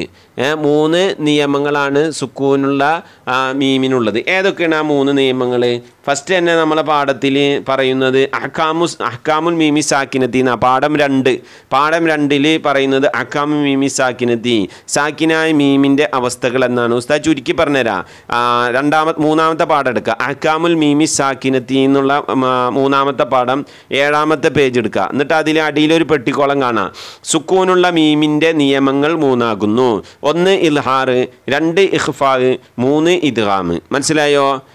എപ്പോഴാണ് ഇൽഹാർ ചെയ്യുക? എപ്പോഴാണ് ഇഹ്ഫാ ചെയ്യുക? എപ്പോഴാണ് ഇദ്ഗാം ചെയ്യുക? സുക്കൂനുള്ള മീമിന് ശേഷം. സുക്കൂനുള്ള മീമിന് ശേഷം. സുക്കൂനുള്ള മൂമിനെ നമ്മൾ എന്തെന്ന് പറയും? സാക്കിനായ മീം എന്ന് പറയും. ചിലപ്പോൾ മീമ് ഉണ്ടാവും സുക്കൂനൊന്നും ഉണ്ടാവില്ല. ഫത്തവും കെസൂറും ലൊമ്മും ഇല്ലാണ്ടിരുന്നാൽ മതി. സുക്കൂനില്ലെങ്കിലും കുഴപ്പമില്ല. അപ്പോൾ സുക്കൂനുള്ള മീമാകട്ടെ അല്ലെങ്കിൽ ഫത്തവും കെസൂറും ലൊമ്മൊന്നും ഇല്ലാത്ത മീമാകട്ടെ ഈ മീമിനെ നമ്മൾ എപ്പോഴാണ് ഈ നിയമം കൊടുക്കൽ എപ്പോഴാണ്? അതായത് ഈ മീമിന്റെ ശേഷം മീമാണ് വന്നത് എങ്കിൽ ഒരേപോലത്തെ അക്ഷരം വന്നാൽ നമ്മൾ എന്താ കട്ടുക? ഒരേപോലത്തെ അക്ഷരം വന്ന് നമ്മൾ ഇതാമം ചെയ്യല്ലേ ചെയ്യുക? അപ്പോൾ ഇവിടെ എന്താണ് ഇദ്ഗാമാണ് നിയമം. മീമിന് ശേഷം മീമ് വന്നാൽ ഇദ്ഗാം ചെയ്യണം. ഒരേപോലത്തെ രണ്ടക്ഷരം വന്നു കഴിഞ്ഞാൽ ആദ്യത്തെ അക്ഷരത്തിന് ഹർക്കത്തും രണ്ടാമത്തേന് സുക്കൂനുമാണെങ്കിൽ നമ്മൾ ചെയ്യും. ആദ്യത്തെ അക്ഷരത്തിന് സുക്കൂന് രണ്ടാമത്തേന് ഹർക്കത്തും ആണെങ്കിൽ സുക്കൂനുള്ള അക്ഷരത്തെ ഹർക്കത്തുള്ള അക്ഷരത്തിലേക്ക് ചേർത്ത് ശ്രദ്ധ ചെയ്ത് ഇദ്ഗാം ചെയ്ത് ഒറ്റ അക്ഷരമായി ഉച്ചരിക്കുന്നൊക്കെ നമ്മൾ പറഞ്ഞിട്ടുണ്ട് അല്ലേ? അപ്പോൾ ഇവിടെ എന്താണ്? ഇങ്ങനെ രണ്ടക്ഷരം ചേർന്ന് വന്നു കഴിഞ്ഞാൽ നമ്മൾ എന്ത് ചെയ്യും? ഇദ്ഗാം ചെയ്യും. അപ്പോൾ മീമിന് ശേഷം മീമ് വന്നാൽ ഇദ്ഗാം ശരിയായല്ലോ? മീമിന് ശേഷം മീമ് വന്നാൽ ഇദ്ഗാം അപ്പോൾ സാക്കിനായ മീമിന്റെ മൂന്ന് വിധികൾ ഒരു വിധി എന്താണ്? ഇത് ആമ് നമ്മൾ പറഞ്ഞു. രണ്ടാമത്തെ വിധി ഇഹ്ഫ ആണ്. മീമിന് ശേഷം ബാ വന്ന ഒറ്റ അക്ഷരമുള്ള പഠിക്കാൻ. മീമിന് ശേഷം ബാ വന്നാൽ ഇഖ്ഫാ. എന്ന് പറഞ്ഞാൽ മീമിന് ശേഷം ബാ വന്നാൽ ഇഖ്ഫാ. ബാക്കി ഇരുപത്തെട്ട് അക്ഷരങ്ങളിൽ രണ്ടക്ഷരം കഴിഞ്ഞാൽ ബാക്കി ഇരുപത്താറ് അക്ഷരമാണുള്ളത് ഇരുപത്താറ് അക്ഷരങ്ങൾ പഠിച്ചില്ലെങ്കിലും വേണ്ടില്ല മക്കളെ. ഈ രണ്ടക്ഷരം പഠിച്ചാൽ മതി. ഇഖ്ഫാന്റെ ഒരു അക്ഷരം അതേതാ ബാ ഇത് ആമിന്റെ ഒരു അക്ഷരം അതേതാ മീമ് ഈ രണ്ട് അക്ഷരം അല്ലാത്ത ദുനിയാവിലുള്ള ഏത് അക്ഷരം വന്നാലും മി- സാക്കിന മീമിന് ശേഷം വന്നാൽ ഇൽഹാറാണ്. പിന്നെ ചില അക്ഷരങ്ങൾ വന്നാൽ പ്രത്യേകം ശ്രദ്ധിച്ച് ഇൽഹാർ ചെയ്യണം. അല്ല മീമിനേശം വാവ് വന്നാൽ പ്രത്യേകം ശ്രദ്ധിച്ച് ഇൽഹാർ ചെയ്യണം. മീമിനേശം ഫാവ് വന്നാൽ പ്രത്യേകം ശ്രദ്ധിച്ച് ഇൽഹാർ ചെയ്യണം. ഇവിടെ വളരെ പ്രധാനപ്പെട്ട ഒരു പോയിന്റ് ഇവിടെ പറയുന്നുണ്ട്. എന്താ പറയുന്നത് ഇൽഹാർ ഇഖ്ഫാ ഇദ്ഗാം എന്നതിന്റെ അടിയിൽ പറയുന്നുണ്ടാ ഷദ്ദുള്ള മീമും നൂനും ഉച്ചരിക്കുമ്പോൾ ഒരു അലിഫിന്റെ അളവ് എന്ന് പറഞ്ഞാൽ ഒരു വിരൽ മടക്കി നിവർത്തുന്ന സമയം മണിക്കൽ നിർബന്ധമാണ്. നമ്മളിങ്ങനാണ്ട് ഓതും അല്ലേ? ഇന്നല്ലാഫു റഹീം. ഇന്ന കുന്ന. അങ്ങനെ പോരാ. ഇന്ന ഇന്നല്ലാഹ ഉമ്മഹാത്തുൽ അങ്ങനെ പറഞ്ഞിട്ട് എന്ത് ചെയ്യണം? ഷദ്ദുള്ള നൂനിനെയും മീമിനെയും മണിക്കുമ്പോൾ ഒരു വിരലൊന്ന് മടക്കി നിർത്തുന്ന അത്രയും മണിക്കണം നമ്മൾ അല്ലാണ്ട് വേഗം എന്ത് ചെയ്യാൻ പാടില്ല ഓതി പോകാൻ പാടില്ല. ഉദാഹരണം അടിയിൽ നോക്കിയേ. ഇന്നല്ലാഹ കണ്ട? അമ്മ യതസ അമ്മ. അമ്മ ഇന്നല്ലാഹു ഫുറയും അങ്ങനെ ഓതാൻ പറ്റൂല എന്ന് ഇന്ന അമ്മ അങ്ങനെ ഓതണമെന്ന് ഇനി നോക്കിയാൽ മേലെ നോക്കിയ ഉദാഹരണം വഹുംബിഹി മുസ്തംസിക്കൂൻ ഈ അങ്ങനെ നമ്മൾ ഇവിടുത്തെ നിയമങ്ങൾ കണ്ടുപിടിക്കൽ.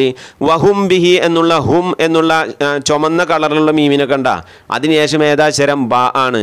അപ്പോൾ ബാവ് വന്നാൽ മീമിന് ശേഷം ബാവ് വന്നാൽ എന്താന്ന് നമ്മൾ പറഞ്ഞ്? ഇഹ്ഫ ആണെന്ന് പറഞ്ഞു. പിന്നെ അടുത്ത് നോക്കിയാൽ മുസ്തംസിക്കീൻ മീമിന് ശേഷം സീനാണ് വന്നത്. എന്താണ് നിയമം നമ്മൾ പറഞ്ഞു? ദുനിയാവിലുള്ള ഏത് അക്ഷരം വന്നാലും അവിടെ മീമോ ബാ അല്ലാതെ ഏത് അക്ഷരം വന്നാലും ഇൽഹാറാണെന്ന് പറഞ്ഞു. മനസ്സിലായി ഉണ്ടാവും വമയ്യസിംബി യസിംബില്ല സാക്കിന മീമിനേഷം ബാ വന്നു. അപ്പോൾ എന്താ നിയമം അവിടെ? അവിടെയും ഇഹ്ഫ തന്നെയാണ്. പിന്നെന്താ? അലം ന ഹുലുക്കു അവിടെ എന്താണ്? അലം ന അലം ന. മീമിനേഷം നൂന് വന്നു. ഇൽഹാറാണ് നിയമം. മീമിന് ശേഷം നൂന് വന്നാൽ ഇൽഹാറാണ് നിയമം. അപ്പം നമ്മളിപ്പോൾ എന്തൊക്കെ പറഞ്ഞു? മീമിന് ശേഷം മീമ് വന്നാൽ ഇദ്ഗാമ് മീമിന് ശേഷം ബാഗ് വന്നാൽ ഇഖ്ഫാഗ് മീമിന് ശേഷം മീമ് വന്നതിന് ഉദാഹരണം ഇപ്പോൾ കിട്ടിയോ? അലം നഖുലുക്കും ഇമ്മഹീൻ കണ്ട? അലം നഖുലുക്കും അലം നഖുലുക്കുമ്മി അവിടെ കുമ്മി കുമ്മി കുമ്മി കണ്ട? കും എന്നുള്ള മീമിന് ശേഷം മീമ് വന്നിട്ടുണ്ട്. മീമിന് ശേഷം മീമ് വന്നിട്ടുണ്ട്. അപ്പോൾ എന്താണ് അവിടെ? ഇത് ആമാണ് നിയമം. ഒരേപോലത്തെ രണ്ടക്ഷരം വന്നു. ആദ്യത്തെ അക്ഷരം സുക്കൂനായി പിന്നത്തേന് അർക്കത്തായി. അപ്പോൾ രണ്ടിനെയും പിടിച്ച് ഒന്നാക്കി. എന്ത് ചെയ്യണം? ശ്രദ്ധ ചെയ്ത് ഉച്ചരിക്കണം. ഇന്നക്കും ചിരിമൂൻ കണ്ട? കുലുവത്ത മത്തവ് കലീലൻ ഇന്നക്കും ചിരിമൂൻ ആ പെട്ടിക്കോളത്തിന്റെ അവസാനം അവിടെയും മീമ് വന്നു. അപ്പോൾ സാക്കിനായ മീമിന് മൂന്ന് വിധികളാണ്. ഇൽ ആറ് ഇഖ്ഫാഹ് ഇദ്ഗാമ് അത് മൂന്ന് നിങ്ങൾ പഠിച്ചു കഴിഞ്ഞു. ഓക്കെ?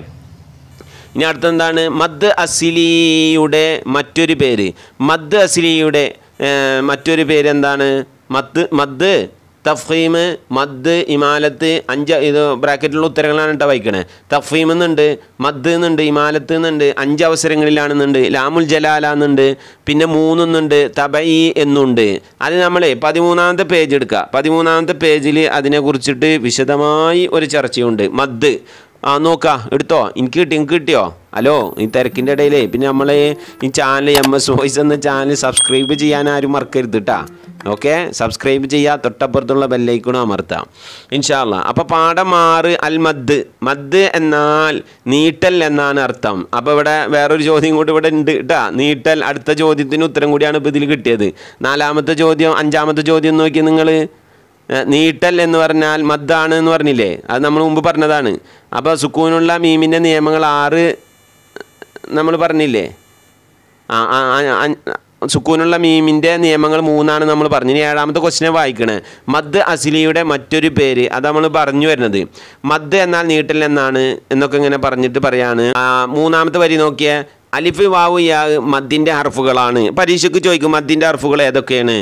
അലിഫ് വാവുയാഹ് ഇതാണ് മദ്ദിന്റെ അക്ഷരങ്ങൾ. മദ്ദിയായ അക്ഷരത്തെ ഉച്ചാരണത്തിൽ കൊണ്ടുവരാൻ ആവശ്യമായ നീട്ടലിന് മദ് അസിലി എന്ന് പറയും. അപ്പോൾ മദ് അസിലി എന്നാൽ എന്ത് എന്നുള്ള ചോദ്യത്തിനുള്ള ഉത്തരം കൂടിയായി ഇത്. മദ്ദിയായ അക്ഷരങ്ങൾ. ഏതാണ് മദ്ദിയായ അക്ഷരങ്ങൾ? മേപ്പെട്ട് പോകണ്ട. ഇപ്പം പറഞ്ഞത് അലിഫ് വാവുയാഹ് ഉച്ചാരണത്തിൽ കൊണ്ടുവരാൻ. ഉച്ചരിക്കുമ്പോൾ അതിങ്ങനെ വരണം. വരാൻ ആവശ്യമായ നീട്ടലിന്. ഇപ്പോൾ ആന എന്ന് പറയുമ്പോൾ നമ്മൾ എന്ത് ചെയ്യണം? ഒന്ന് നീട്ടണം. അന എന്ന് പറഞ്ഞാൽ ആനയാവുമോ പൂച്ച എന്ന് പറയുമ്പോൾ ഒന്ന് നീട്ടണം. പുച്ച എന്ന് പറഞ്ഞാൽ പൂച്ചയാവുമോ ഇല്ല. അപ്പോൾ ഈ ഇവിടെ പൂ എന്ന് ആ എന്ന് നീട്ടാൻ അതാണ് മധ്യായ അക്ഷരം. അതിനെ ഉച്ചാരണത്തിൽ കൊണ്ടുവരാൻ എന്ത് വേണം? കൊണ്ടുവരാൻ ആവശ്യമായ നീട്ടലിനാണ് മദ് അസ്ലി എന്ന് പറയാം. ഇപ്പോൾ ഒരാൾ ആനനെ പറയാണ് ആന. പൂച്ച. അങ്ങനെ ആരെങ്കിലും പറയുമോ പറയില്ല. അപ്പം നമ്മൾ ഈ ആന പൂച്ച എന്ന് പറയാൻ എത്രത്തോളം നീട്ടണം? ഇത്രയും നീട്ടുന്നതിനാണ് മദ് അസ്ലി എന്ന് പറയുക. ആവശ്യമായ നീട്ടൽ. ഇതിനെ മദ് അസ്ലി എന്ന് പറയും. ഈ മദ് അസ്ലിക്ക് വേറൊരു പേരുണ്ട്. എന്താണ്? മദ് തബായി എന്നും ഇതിന് പേരുണ്ട്. ഇതിലും വിട്ട് കൂടുതൽ നീട്ടേണ്ടി വരുന്ന മദ്ദുകളുണ്ട്. ഇതും വിട്ട് കൂടുതൽ നീട്ടേണ്ടി വരുന്ന മദ്ദുണ്ട്. അതിനെ മദ് ഫറയി എന്ന് പറയും. എന്താ പറയുക മദ് ഫറയി അപ്പോൾ മദ് എത്ര വിധമാണ്? രണ്ട് വിധമാണ് ഒന്ന് മദ് അസ്ലിയും മദ് ഫറയിയും സാധാരണയിൽ വിട്ട് കൂടുതൽ നീട്ടേണ്ടി വരുന്ന മദ്ദിന് മദ് ഫറയി എന്ന് പറയും. മദ് ഫറയി അത് അഞ്ച് വിധമാണ്. ഏതൊക്കെയാണ് അത്? മുത്തസിൽ മുമ്പസിൽ ലാസിമ് ആരുലിലീൻ. എന്താണ് മക്കളെ? മുത്തസിൽ മുമ്പസിൽ ലാസിമ് ആരുലിലീൻ. മദ് ഫറയി എത്ര വിധമാണ്? അഞ്ച് വിധമാണ്. മദ് അസ്ലി എത്ര വീതമാണ് മദ് അസ്ലി ഒരു വിധം തന്നെ ഉള്ളൂ. മദ് അസ്ലിക്ക് വേറൊരു പേരും കൂടി ഉണ്ട്. എന്തെന്ന്? മദ് തബയി എന്ന് പേരുണ്ട്. മദ് അസ്ലി ഒന്ന് തന്നെ ഉള്ളൂ കേട്ടോ ഏതുപോലെ? കാല കീല കൂലു ഹാറൂൻ മൂസ എന്നൊക്കെ. ചിലവരൊക്കെ ഖുറാനോതുമ കാണാം. സുഹുഫി ഇബ്രാഹിമ വ മൂസ. അങ്ങനെ ഓതുനേക്കാം ഏഹ് ജുമാക്ക്. അവിടെ അത്ര ഒന്നും കിട്ടാൻ പാടില്ല. മൂസ.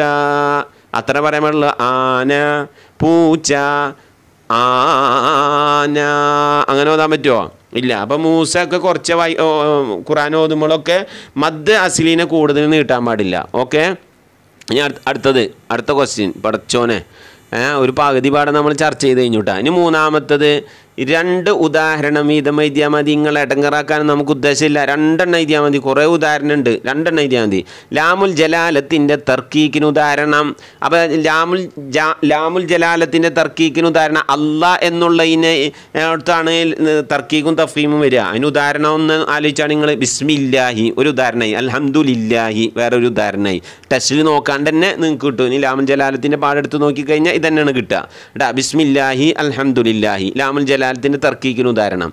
ലാമുൽ ജലാലത്തിന് തഫീമിന് ഉദാഹരണം. മുഹമ്മദുർ റസൂലുല്ലാഹി മുഹമ്മദ് റസൂലുള്ള പറഞ്ഞു സുബഹാനല്ലാഹി ഇദാജാ നസുറുല്ലാഹി ഇന്നല്ലാഫുർ റഹീം. അതൊക്കെ എന്തിനാണ്? തഫീമിന് ഉദാഹരണമാണ് ഓക്കെ?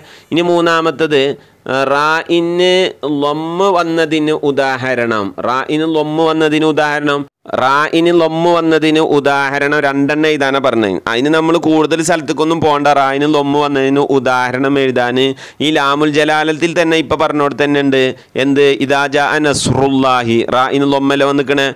നസ്റുല്ലാഹി പഠിച്ചു കഴിഞ്ഞാൽ റായിന് ലൊമ്മ വന്നതിന് ഉദാഹരണമായി. അതുപോലെ തന്നെ ജലാലത്തിന്റെ ഇസ്മിന് തഫീമായതിന് ഉദാഹരണമായി. റായിന് തഫീമായതിന് ഉദാഹരണമായി. അതുപോലെ തന്നെ ഇന്നല്ല ഗഫൂറുർ റഹീം. ഗഫൂറുൻ എന്നുള്ള റായിന് ലൊമ്മല്ലേ?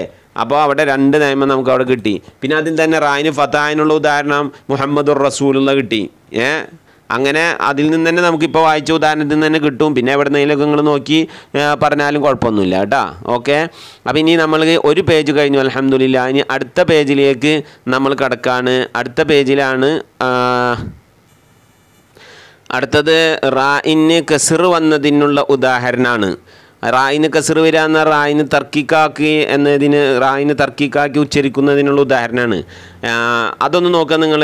തർക്കീഖുർ റാ പാഠം പന്ത്രണ്ട് എടുക്കുക. ഇരുപത്തിനാലാമത്തെ പേജ്. ഇതിലൊരു പ്രധാനപ്പെട്ട തജ്വീദിലെ നാലാം ക്ലാസ്സിലെ ഒരു പ്രധാനപ്പെട്ട ഭാഗമാണത് മിൻ ഷെഡിമ ഖലക്ക് ഒന്ന് റായിന് തഫീമിൽ നമ്മൾ എന്താ പറഞ്ഞത്? തഫീമിൽ റായിന് ഫത്തഹോ എന്ന് പറഞ്ഞു. ഫത്തഹോ ലൊമ്മ ആയി കഴിഞ്ഞാൽ റായിനെ തഫീം ചെയ്യണം. അപ്പം ഇനി അവിടെ ബാക്കിയുള്ളത് എന്താ ഉള്ളത്? കെസർ ബാക്കിയുണ്ട്. അപ്പോൾ കെസർ വന്നാൽ റായിനെ തർക്കിക്ക് ചെയ്യണം. കമ്പയർ ചെയ്ത് പഠിച്ചാൽ പെട്ടെന്ന് മനസ്സിലാവും. അപ്പോൾ ആ തഫീം എന്ന് പറഞ്ഞാൽ റായിന് ഫത്തഹോ ലൊമ്മോ ആണെങ്കിൽ റായിനെ തഫീം ചെയ്യണം. അപ്പോൾ കെസർ വന്നാൽ റായിനെ തർക്കിക്ക് ചെയ്യണം. അപ്പോൾ ഒന്നാമത്തത് റായിന് കെസറാവുക. റായി നാല് സ്ഥലത്താണ് റായിനെ തർക്കിക്ക് ചെയ്യേണ്ടത്. അപ്പോൾ റായിന് കെസർ വന്നാൽ റായിനെ തർക്കിക്ക് ചെയ്യണം. ഉദാഹരണം ഒന്നാമത്തെ ഉദാഹരണം മിൻ മാഹലക്ക് ഗൈരിൽ മഗ്ലൂബി അലൈഹി. അപ്പോൾ മിൻ ഷഡ്ഡി മാ ഖലക്ക്. നമുക്ക് റായിന് സുക്കൂൻ വന്നതിന് ഉദാഹരണം മിൻ എടുക്കാം ഖൈരിൽ മൗലൂബി എടുക്കാം റായിന് കിസറല്ല വന്നിക്കണേ. അത് രണ്ടെണ്ണം എടുത്ത് ഇവിടെ ഫിൽ ഫില്ല് ചെയ്യാം. അപ്പം നമുക്ക് തർക്കിക്കിലെ ബാക്കി രണ്ടെണ്ണം ബാക്കിയുള്ളതും കൂടി ഒന്ന് പറയാം. രണ്ടാമത്തെ എന്താണ്? റായിന് സുക്കൂനും റായിന്റെ മുമ്പ് അസ്ലിയായ കസർ വരികയും റായിന്റെ ശേഷം ഇസ്തിലായിന്റെ അക്ഷരം വരാതിരിക്കുകയും ചെയ്യുക. നമ്മൾ മുമ്പ് പറഞ്ഞ അത് അവസ്ഥ തന്നെയാണ്. റായിന് സുക്കൂനാണ് അതിന്റെ മുമ്പ് കെസറുണ്ട്. ആ കെസർ എന്തല്ല ആരിതല്ല താൽക്കാലികമല്ല ഒറിജിനൽ തന്നെയാണ്. പക്ഷേ ശേഷം എന്താവാൻ പാടില്ല? ശേഷമുള്ള അക്ഷരം ഇസ്തിലായിന്റെ അക്ഷരമാവാൻ പാടില്ല. ഇസ്തിലായിന്റെ അക്ഷരം എവിടെ വന്നാലും തഫീമാക്കണം നമ്മൾ തഫീമിന്റെ പാഠത്തിൽ പറഞ്ഞു. അപ്പോൾ ഇവിടെ തർക്കീക്കാക്കാനുള്ള നിയമം എന്താണ്? റായിന് സുക്കൂനാവുക. അതിന്റെ നിങ്ങൾ ഈ ഉദാഹരണത്തിലേക്ക് നോക്കിയ ഫതക്കീർ ഫതക്കീർ നോക്കിയ ഫതക്കീർ ഫതക്കിർ ഇന്നമാ അന്ത മുദക്കിർ വജാ ഫിർഔൻ ഇതൊക്കെ നോക്കിയേ. ഫതക്കിർ എന്ന് പറയുന്നത് റായിന് സുക്കൂനാണ്. മുമ്പുള്ള കാഫിന് കിസറാണ്. അത് താൽക്കാലിക കിസറൊന്നല്ല. പദത്തിന്റെ ഇടയിൽ വരുന്ന കിസറുകൾ താൽക്കാലികമാവില്ല പദത്തിന്റെ ആദ്യത്തിൽ വരുന്നതാണ് പിന്നെയും താൽക്കാലിക കിസറാകുക. ഇവിടെ ഫതക്കിർ എന്ന പദത്തിൽ ആദ്യത്തെ അക്ഷരം ഫ ആണ്. പിന്നെ ദാലാണ്. പിന്നെ കാഫാണ്. ആ കാഫിന് ആ കിസർ വന്ന് നിൽക്കണ ഒരു സംശയമില്ല അത് എന്താണ്? അസിലിയായ ഒറിജിനൽ കിസർ തന്നെയാണ് അപ്പോൾ ഒറിജിനൽ കിസറിന് ശേഷം റാ സുക്കൂനായി വന്നു. ഇനി ശേഷമുള്ള അക്ഷര ഇസ്തില അതിന്റെ അക്ഷരാണെന്ന് നോക്കണം. ഹുസ നിത്തിങ്കിൾ എന്നതിൽ അക്ഷരാണോ ഈ എന്നതിൽ പെടുമോ ഇല്ല പെടൂല. അപ്പോൾ ഇവിടെ കണ്ടിപ്പൻ എന്ത് വേണം? റായിനെ ഇവിടെ തർക്കിക്ക് ചെയ്യണം. അപ്പോൾ ഇവിടെ എങ്ങനെ ഓതാ? ഫതക്കിർ അങ്ങനെ ഓതാൻ പറ്റുമോ പറ്റൂല. അപ്പോൾ തഫീമായി പിന്നെ എങ്ങനെ ഓതണം? ഫതക്കി ഫതക്കി ഇന്നമാ അൻത മുദക്കിർ അവിടെ റായിന് ലൊമ്മാണ് മുദക്കിറുൻ എന്നുള്ളത് പക്ഷേ റായിന് നമ്മൾ എന്ത് ചെയ്യാണ് കെസിർ സുക്കൂൻ ചെയ്ത് ഉച്ചരിക്കുകയാണ് സുക്കൂൻ ചെയ്ത് ഉച്ചരിക്കുമ്പോൾ ശേഷം എന്താണ്? പിൻ മുമ്പുള്ള അക്ഷരത്തിന് കെസിറ. അപ്പോൾ കെസിറിന് ശേഷം റായ് സുക്കൂനായി വന്നു. ഫതക്കിർ എന്ന് പറയുന്ന ഹുക്കുമിലേക്ക് മുദക്കിറും വന്നു. അപ്പോൾ അവിടെ റായിന് എന്ത് ചെയ്യണം? സുക്കു തർക്കിക്ക് ചെയ്യണം. വജ ഫിർ ഔന ഫിർ ഔന എന്ന് പറഞ്ഞുകൊടുത്ത് നോക്കി ഒന്ന് കണ്ണുറപ്പിച്ച് നോക്കിയും. റായിന് സുക്കൂനല്ലേ? മുമ്പുള്ള അക്ഷരത്തിന് ഫിർ ഔൻ എന്ന് പറയുന്നത് അസിലിയായ കിസർ തന്നെയാണ്. ആ ചങ്ങായിയുടെ പേരല്ലേ? ഫിർ ഔൻ എന്ന് പറയുന്നത്? ആ അപ്പോൾ റായിന് മുമ്പ് അസിലിയായ കിസർ തന്നെയാണ്. പക്ഷേ റായിന് ശേഷമുള്ള അക്ഷരത്തിന് അക്ഷരം ഏതാണ്? ഇസ്തീലാന്റെ അക്ഷരാണോ? ഹുസ്സലീത്തിൻ കിലാണോ അല്ല. പിന്നെ ഏതാണ്? ഐനാണ്. അപ്പോൾ അതുകൊണ്ട് ഫിർ ഔനു ഫിർ ഔനു ആരെങ്കിലും ഉഷാറായിട്ട് ഫിർ ഔനു എന്ന് പറഞ്ഞു കഴിഞ്ഞാൽ തെറ്റാണ്. അവിടെ അവന് നിയമം തെറ്റിച്ച് ഓതി തഫീം തർക്കീക്കാക്കേണ്ടോടത്ത് തഫീമാക്കി ഓതി. അപ്പോൾ അവന്റെ കിറാത്ത് തെറ്റാണ്. ഖുറാൻ പരീക്ഷയ്ക്ക് നിങ്ങൾ ഫിർ ഔനു എന്ന് പറഞ്ഞാൽ ഞങ്ങൾക്ക് മാർക്ക് കുറയും. ശരിയാവണുണ്ടോ? അപ്പോൾ രണ്ടാമത്തെ നമ്മൾ പറഞ്ഞു. ഇനി മൂന്നാമത്തത് എന്താണ്? മൂന്നാമത്തെ നിയമം നോക്കുക. നിങ്ങൾ മൂന്നാമത്തെ നിയമം എവിടെ നോക്കണേ? ഇരുപത്തഞ്ചാമത്തെ പേജിൽ മൂന്നെന്ന് കാണുന്നുണ്ടോ? ഇരുപത്തഞ്ചാമത്തെ പേജിൽ മൂന്ന് ഒന്ന് രണ്ട് അത് നമ്മൾ വായിച്ചു കഴിഞ്ഞു മൂന്നാമത്തെ. സുക്കൂനുള്ള റായിന് മുമ്പ് സുക്കൂനായ യാവ് വരിക. സുക്കൂനുള്ള റാഹ് അതിന്റെ മുമ്പ് സുക്കൂനുള്ള യാഹ് അപ്പം പിന്നെ ഒന്നും നോക്കണ്ട. അവിടെ തർക്കീക്ക് ചെയ്യണം. ഉദാഹരണം നോക്കുക മൂന്നാമത്തെ ഉദാഹരണം. പെട്ടിക്കാളത്തിലെ ഉദാഹരണം. ഇരുപത്തിനാലാമത്തെ പേജിലെ പെട്ടിക്കോളം നോക്കുക മൂന്നാമത്തെ. ഈ റായിന്റെ സുക്കൂന് ഒറിജിനൽ സുക്കൂനാകാം. അതല്ലെങ്കിൽ വക്കുഫിന് വേണ്ടി ചെയ്യുന്ന സുക്കൂനാകാം. എന്തായിരുന്നാലും വേണ്ടിയില്ല കുട്ടികളെ റായിന് സുക്കൂനായാൽ മതി. അതിന്റെ മുമ്പുള്ള അക്ഷരം സുക്കൂനുള്ള യാ ആയി കഴിഞ്ഞാൽ അവിടെ തർക്കീക്ക് തർക്കീക്ക് മറക്കണ്ട. ഓക്കെ? വലിബാസുത്തക്കുവാദാലിക ഖൈർ. കണ്ട? പിന്നെ ആ രണ്ടാമത്തെ ഉദാഹരണം. ബി അൽസിന ബി അൽസിനത്തിൻ ഹിദാദിൻ ഷിഹദൻ അലൽ ഖൈർ. കണ്ട? ഹൈറ്റ് ഡി ഡി അതങ്ങനെ ഉച്ചാരണത്തിൽ ശരിക്കും വരില്ല ഹൈറ്റ് എന്ന് പറഞ്ഞ റായിന് സു തർക്കിക്കാക്കി ഉച്ചരിക്കണം. അപ്പം എന്തായി? റാ ഒന്ന് റായിന് കിസറാവുക. രണ്ട് കിസറിന്റെ ശേഷം റാ സാക്കിനായി വരിക. മൂന്ന് ആ ശേഷമുള്ള അക്ഷരം ഇസ്തിലായിന്റെ അക്ഷരാവാനും പാടില്ല. രണ്ടിലെ നിയമം. രണ്ടിൽ രണ്ട് നിയമമുണ്ട്. കിസർ റായിന്റെ മുമ്പ് കിസറാവുക ശേഷം ഇസ്തിലായിന്റെ അക്ഷരാവാൻ പാടില്ല. ഇനി മൂന്നാമത്തെ എന്താണ്? റായിന് സുക്കൂനാവുക. അതിന് മുമ്പ് സുക്കൂനുള്ള യാവ് വരിക. ഇനി റായിന് തർക്കിക്ക് നാല് സ്ഥലത്താണ് റായിന് തർക്കിക്കുള്ളത്. അതിൽ നാലാമത്തേണ് പറയാൻ പോണത്. നാല് സുക്കൂനുള്ള റാ ഇന്റെ മുമ്പ് യാ അല്ലാത്ത സുക്കൂനുള്ള അക്ഷരം വന്നു. യാ അല്ലാത്ത സുക്കൂനുള്ള അക്ഷരം എന്ന് പറഞ്ഞാൽ യാ വന്നു കഴിഞ്ഞാൽ പിന്നെ ഒന്നും നോക്കാനില്ല. സുക്കൂനുള്ള റായിന്റെ മുമ്പ് സുക്കൂനുള്ള യാ വന്നാൽ ഏതുപോലെ? മൂന്നാമത്തെ ഉദാഹരണത്തിലെ ഹൈര് പോലെ. അത് വന്നു കഴിഞ്ഞാൽ പിന്നെ ഒന്നും നോക്കാനില്ല. അവിടെ തർക്കിക്കന്നെ. അവിടെ തർക്കിക്ക് തന്നെ എന്നാൽ ഇനി സുക്കൂനുള്ള യാന്റെ മുമ്പ് സുക്കൂനുള്ള യാ അല്ലാത്ത ദുനിയാവിൽ കുറേ അക്ഷരങ്ങളില്ലേ? ആ ഏതെങ്കിലും അക്ഷരങ്ങൾ വന്നാൽ എന്താ കാട്ടുണ്ട്? ഒന്ന് നോക്കി കാണിയും സുക്കൂനുള്ള റായിന്റെ മുമ്പ് യാ അല്ലാത്ത സുക്കൂനുള്ള അക്ഷരം വരികയും അതിന്റെ മുമ്പ് കസറും വന്നു. അതിന്റെ മുമ്പ് കസർ വന്നു. നമ്മൾ മുമ്പ് പറഞ്ഞുകൊടുത്ത എന്താ? തഫീമിൽ പറഞ്ഞുകൊടുത്ത എന്താ? സുക്കൂനുള്ള റാ വന്നു. അതിന് മുമ്പുള്ള അക്ഷരത്തിനും സുക്കൂൻ വന്നു. അപ്പോൾ അതിന്റെ മുമ്പുള്ള അക്ഷരത്തിന് ഫത്തഹോ ലൊമ്മ ആണെങ്കിൽ നമ്മൾ തഫീം ചെയ്യണമെന്ന് പറഞ്ഞു. അപ്പോൾ ഉസ്താദെ കസർ വന്നാൽ എന്താ ചെയ്യേണ്ടതെന്ന് നിങ്ങൾക്ക് സംശയം ഉണ്ടായില്ലേ? ആ സംശയത്തിന് ഉത്തരാണ് ഇത്. സുക്കൂനുള്ള റാവ് വന്നു. അതിന് മുമ്പ് സുക്കൂനുള്ള വേറെ യാ അല്ലാത്ത വേറെ അശ്വരായി. അപ്പോൾ അതിന്റെ മുമ്പ് എന്താണ് നോക്കണം? അതിന്റെ മുമ്പ് ഫത്തോ ലൊമ്മാണോ? പിടിച്ച് തഫീമാക്കണം കിസറാണോ തർക്കീക്കാക്കണം ശരിയായോ? അപ്പം നാലാമത് സുക്കൂനുള്ള റായിന് മുമ്പ് യാ അല്ലാത്ത സുക്കൂനുള്ള അക്ഷരം വരികയും അതിന്റെ മുമ്പ് കസിറും വന്നു. നാലാമത് ഉദാഹരണം നോക്കുക. ഹൽഫീദാലിക കസമുല്ലതി ഹിജിർ. ഹിജിരിൻ എന്നാണ് ഉള്ളത്. അല്ലേ? ഹിജിർ എന്നാണ് ഓതേണ്ടത്. ഹിജിർ ഹിജിർ എന്നല്ല ഹിജിർ എന്നാണ് ഓതേണ്ടത്. ഈ റായിന് എന്താണ് സുക്കൂൻ വന്നു? റായിന് സുക്കൂനാണോ ഉസ്താദെ എന്ന് ചോദിക്കാൻ നിൽക്കണ്ട. റായിന് ഖിസർ തൻമീനാണ് ഉള്ളത്. പക്ഷെ വക്കുവ് ചെയ്യുമ്പോൾ നമ്മൾ സുക്കൂനാക്കും. അപ്പോൾ ഇവിടെ റായിന് സുക്കൂന് വന്നു. പിന്നെ റായിന്റെ മുമ്പുള്ള അക്ഷരം ജീമല്ലേ? അത് സുക്കൂനുള്ള യാ അല്ലല്ലോ? സുക്കൂനുള്ള ജീമാണ് അപ്പം ഇനിയിപ്പോൾ എന്താ കാട്ടെ? അതിന്റെ മുമ്പുള്ള അക്ഷരത്തിന് എന്താ നോക്കണം? അതിന്റെ മുമ്പുള്ള അക്ഷരത്തിന് ഫതഹായിരുന്നെങ്കിൽ ഇവിടെ തർക്കി തഫീം ചെയ്യണം. ഇവിടെ കെസറായി ഭാഗ്യത്തിന്. അപ്പോൾ ഇവിടെ എന്ത് ചെയ്യണം? തർക്കീക്ക് ചെയ്യണം. അപ്പോൾ ഇവിടെ എങ്ങനെ ഓതണം? ഖസമുല്ലിദി ഹിജിത് ഹിജിത് അടുത്തത്. യു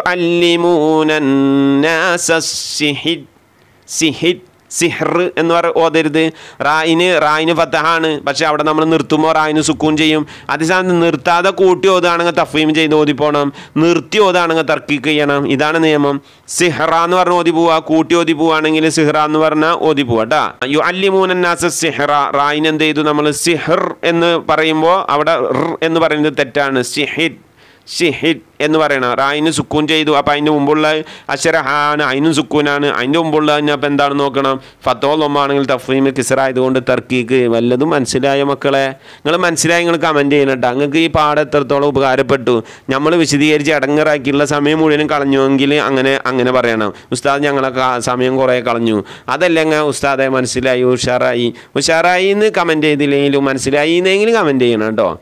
അടുത്തത്. പിന്നെ അത് കഴിഞ്ഞു. അപ്പോൾ റായിന് കെസർ വരുന്ന ഉദാഹരണം നമ്മൾ പറഞ്ഞു മിൻഷറ്റിമാ ഖലക്ക് കൈരിൽ മഹ്ലൂബി അത് രണ്ടും വന്നപ്പോൾ നമ്മൾ ഇത്രയൊക്കെ വയൽ പറയേണ്ടി വന്ന്. ഇനി അഞ്ചാമത്തെ റായിന് സുക്കൂനും റായിന്റെ മുമ്പുള്ള എനിക്ക് ഫത്തഹ് വന്നാൽ അത് ഏതിലെ പെടുക? തഫീമില തർക്കീക്കില റായിന് സുക്കൂന് വന്നാൽ മുമ്പുള്ളത് ഫത്തോൾ ഒമ്മാണെങ്കിൽ തഫീമില പെടുക. അപ്പോൾ തഫീമിന്റെ പാടം ഇങ്ങോട്ട് മറിക്കുക. തഫീമിന്റെ പാടം ഇങ്ങോട്ട് മറിക്കുക അങ്ങോട്ട് പെട്ടെന്ന്. മറിച്ചോ? അതിൽ ഇരുപത്തൊന്നാമത്തെ പേജിൽ കണ്ടോ? റാ ഇന് എന്താണെന്ന് പറഞ്ഞ? റായിന് സുക്കൂന്. സുക്കൂനും സുക്കൂനും റായിന്റെ മുമ്പുള്ളതിന് ഫത്തു രണ്ടാമത്തെ ഉദാഹരണം എടുക്കുക. ഫ അസർന ബിഹീനക്ക് ആ ഫ അസർന ബിഹീനക്ക് ആ കണ്ട? റായിന് സുക്കൂനും അതിന് മുമ്പുള്ളതിന് സാ സാ ഏ, സായിന് ഫത്തഹ് വന്ന് കണ്ട? ഫഷാരിബൂന ഷുർബൽ ഹീം. റായിന് സുക്കൂനും റായിന് മുമ്പ് ഫത്തമോളെ രണ്ട് ഉദാഹരണം എഴുതണം. ഇതിലിപ്പോൾ ഒരു ഉദാഹരണമേ ഉള്ളൂ. ഫ അസർ നബിഹി നക്ക എന്ന് പറഞ്ഞതിൽ ഒരു ഉദാഹരണമേ ഉള്ളൂ. റായിന് സുക്കൂനും അതിന് മുമ്പുള്ള ഫത്ത അതിന് ഒരു ഉദാഹരണമേ ഉള്ളൂ. ഇനി ഒരു ഉദാഹരണം നമ്മൾ കണ്ടുപിടിക്കണം. ഇരുപത്തി ആറാമത്തെ പേജ് എടുത്തോളീം. ഇര ഇരുപത്തി ആറാമത്തെ പേജ് എടുത്താലേ അഞ്ചാമത്തെ നമ്പറിൽ കാണാം. മേലെന്ന് അഞ്ചാമത്തെ നമ്പർ കൊറിയ കറിയ കണ്ട? അത് ഒന്നാമത്തെ നമ്പറിൽ തന്നെ അതുണ്ട്. മറിയ അതും അതിൽപ്പെട്ട തന്നെയാണ്. റായിന് സുക്കൂന് മുമ്പുള്ളതിന് ഫത്ത് ആയതിന് ഉദാഹരണമാണ്. പിന്നെ കണ്ട? വേറെ ഒന്ന് തൊയ്റ യായിന് സുക്കൂന് മുമ്പുള്ളതിന് ഫത്തതിന് ഉദാഹരണമാണ്. വ അർസല റായിന് സുക്കൂന് മുമ്പുള്ളതിന് ഫത്തതിന് ഉദാഹരണമാണ്. ഇഷ്ടം പോലെ കെടുക്കുക അവിടെ. തൊർമീഹിം ഏ പിന്നെ ഫിര് ഔൻ അത് വേറെ കേട്ടാ. അപ്പോൾ അവിടെ നോക്കിയിട്ട് നിങ്ങൾക്ക് ഉദാഹരണങ്ങൾ എടുത്ത് എഴുതാം. ഓക്കെ? ഹാപ്പി? ഇനി അടുത്തത്. പതിനാലാമത്തെ. ഉത്തരം എഴുതാം. കമരിയായ എല്ലാ അക്ഷരങ്ങളും ഉൾപ്പെട്ട ഉദാഹരണം. കമരിയായ എല്ലാ അക്ഷരങ്ങളും ഉൾപ്പെട്ട ഉദാഹരണം ഏതാണ്? അതിന്റെ ഉത്തരം കിട്ടാൻ നിങ്ങൾ ഇരുപത്തി ഒമ്പതാമത് പേജ് എടുക്കുക ഞാൻ മുമ്പ് പറഞ്ഞതാണത്. അതിൽ അവസാനത്തെ മൂന്ന് വരി നാലാമത്തെ വരി നോക്കുക. രണ്ടാമത്തെ വരാഫിൽ ഫസ്റ്റ് വരി. എന്ന് കണ്ടില്ലേ? ഇതാണ് കമരിയായ എല്ലാ അക്ഷരങ്ങളും ഉൾപ്പെട്ടുള്ള ഉദാഹരണം. ഇബ് ഹജ്ജക വഖിഫ് അഖീമഹു. ഓക്കെ? അടുത്ത ചോദ്യം. വാവും യാവും ലീനിന്റെ ഹർഫാകുന്നത് എപ്പോഴാണ്? വാവും യാവും ലീനിന്റെ ഹർഫാകുന്നത് എപ്പോഴാണ്? എന്താണ്? വാവും യാവും ലീനിന്റെ ഹർഫാകുന്നത് എപ്പോഴാണ്? അതിന്റെ ഉത്തരം കിട്ടാൻ പതിനെട്ടാമത്തെ പേജ് എടുക്കുക. പതിനെട്ടാമത്തെ പേജ് അൽ മദ്ദുൽ ആരിലു വല്ലീനു എന്നുള്ള ഒമ്പതാമത്തെ പാഠത്തിന്റെ അവസാനത്തെ സെക്കൻഡ് ലാസ്റ്റ് വരി നോക്കൂ. വാവിനും യാ ഇന്നും സുക്കൂനും. അപ്പോൾ സുക്കൂനുള്ള വാവ് യാ. മുമ്പുള്ള അക്ഷരത്തിന് ഫത്തഹുമാണെങ്കിൽ മുമ്പുള്ള അക്ഷരത്തിന് ഫത്തവുമായിട്ട് വന്നാൽ ആ വാവിനും യാ ഇന്നും ലീൻ എന്ന് പറയും. മനസ്സിലായില്ലല്ലോ? മനസ്സിലായിന്റെ അവലേക്ക് മനസ്സിലായി? നിങ്ങളൊരു കാര്യം മേലുള്ള പെട്ടിക്കോളത്തിലേക്ക് നോക്ക്. വ ആമന മിൻ ഖൗഫ്. കണ്ട? കണ്ട? വ ആമനു ആ മഞ്ഞ ഷേഡിൽ കൊടുത്തിരിക്കണണ്ട വ ആമന മിൻ ഖൗഫ്. ലക്കും ഫീഹ ഇവിടെ എന്തൊക്കെ ഉള്ളത് ഖൗഫ് എന്നുള്ളടത്ത് നോക്കിയേ അവിടെ വാവുണ്ടാ വാവിന് സുക്കൂനുണ്ടാ ഉണ്ട് വാവിന് സുക്കൂനുണ്ട്. അതിന് മുമ്പുള്ള അക്ഷരത്തിന് എന്താണ്? ഫത്തഹല്ലേ ഉള്ളത്? ഏ?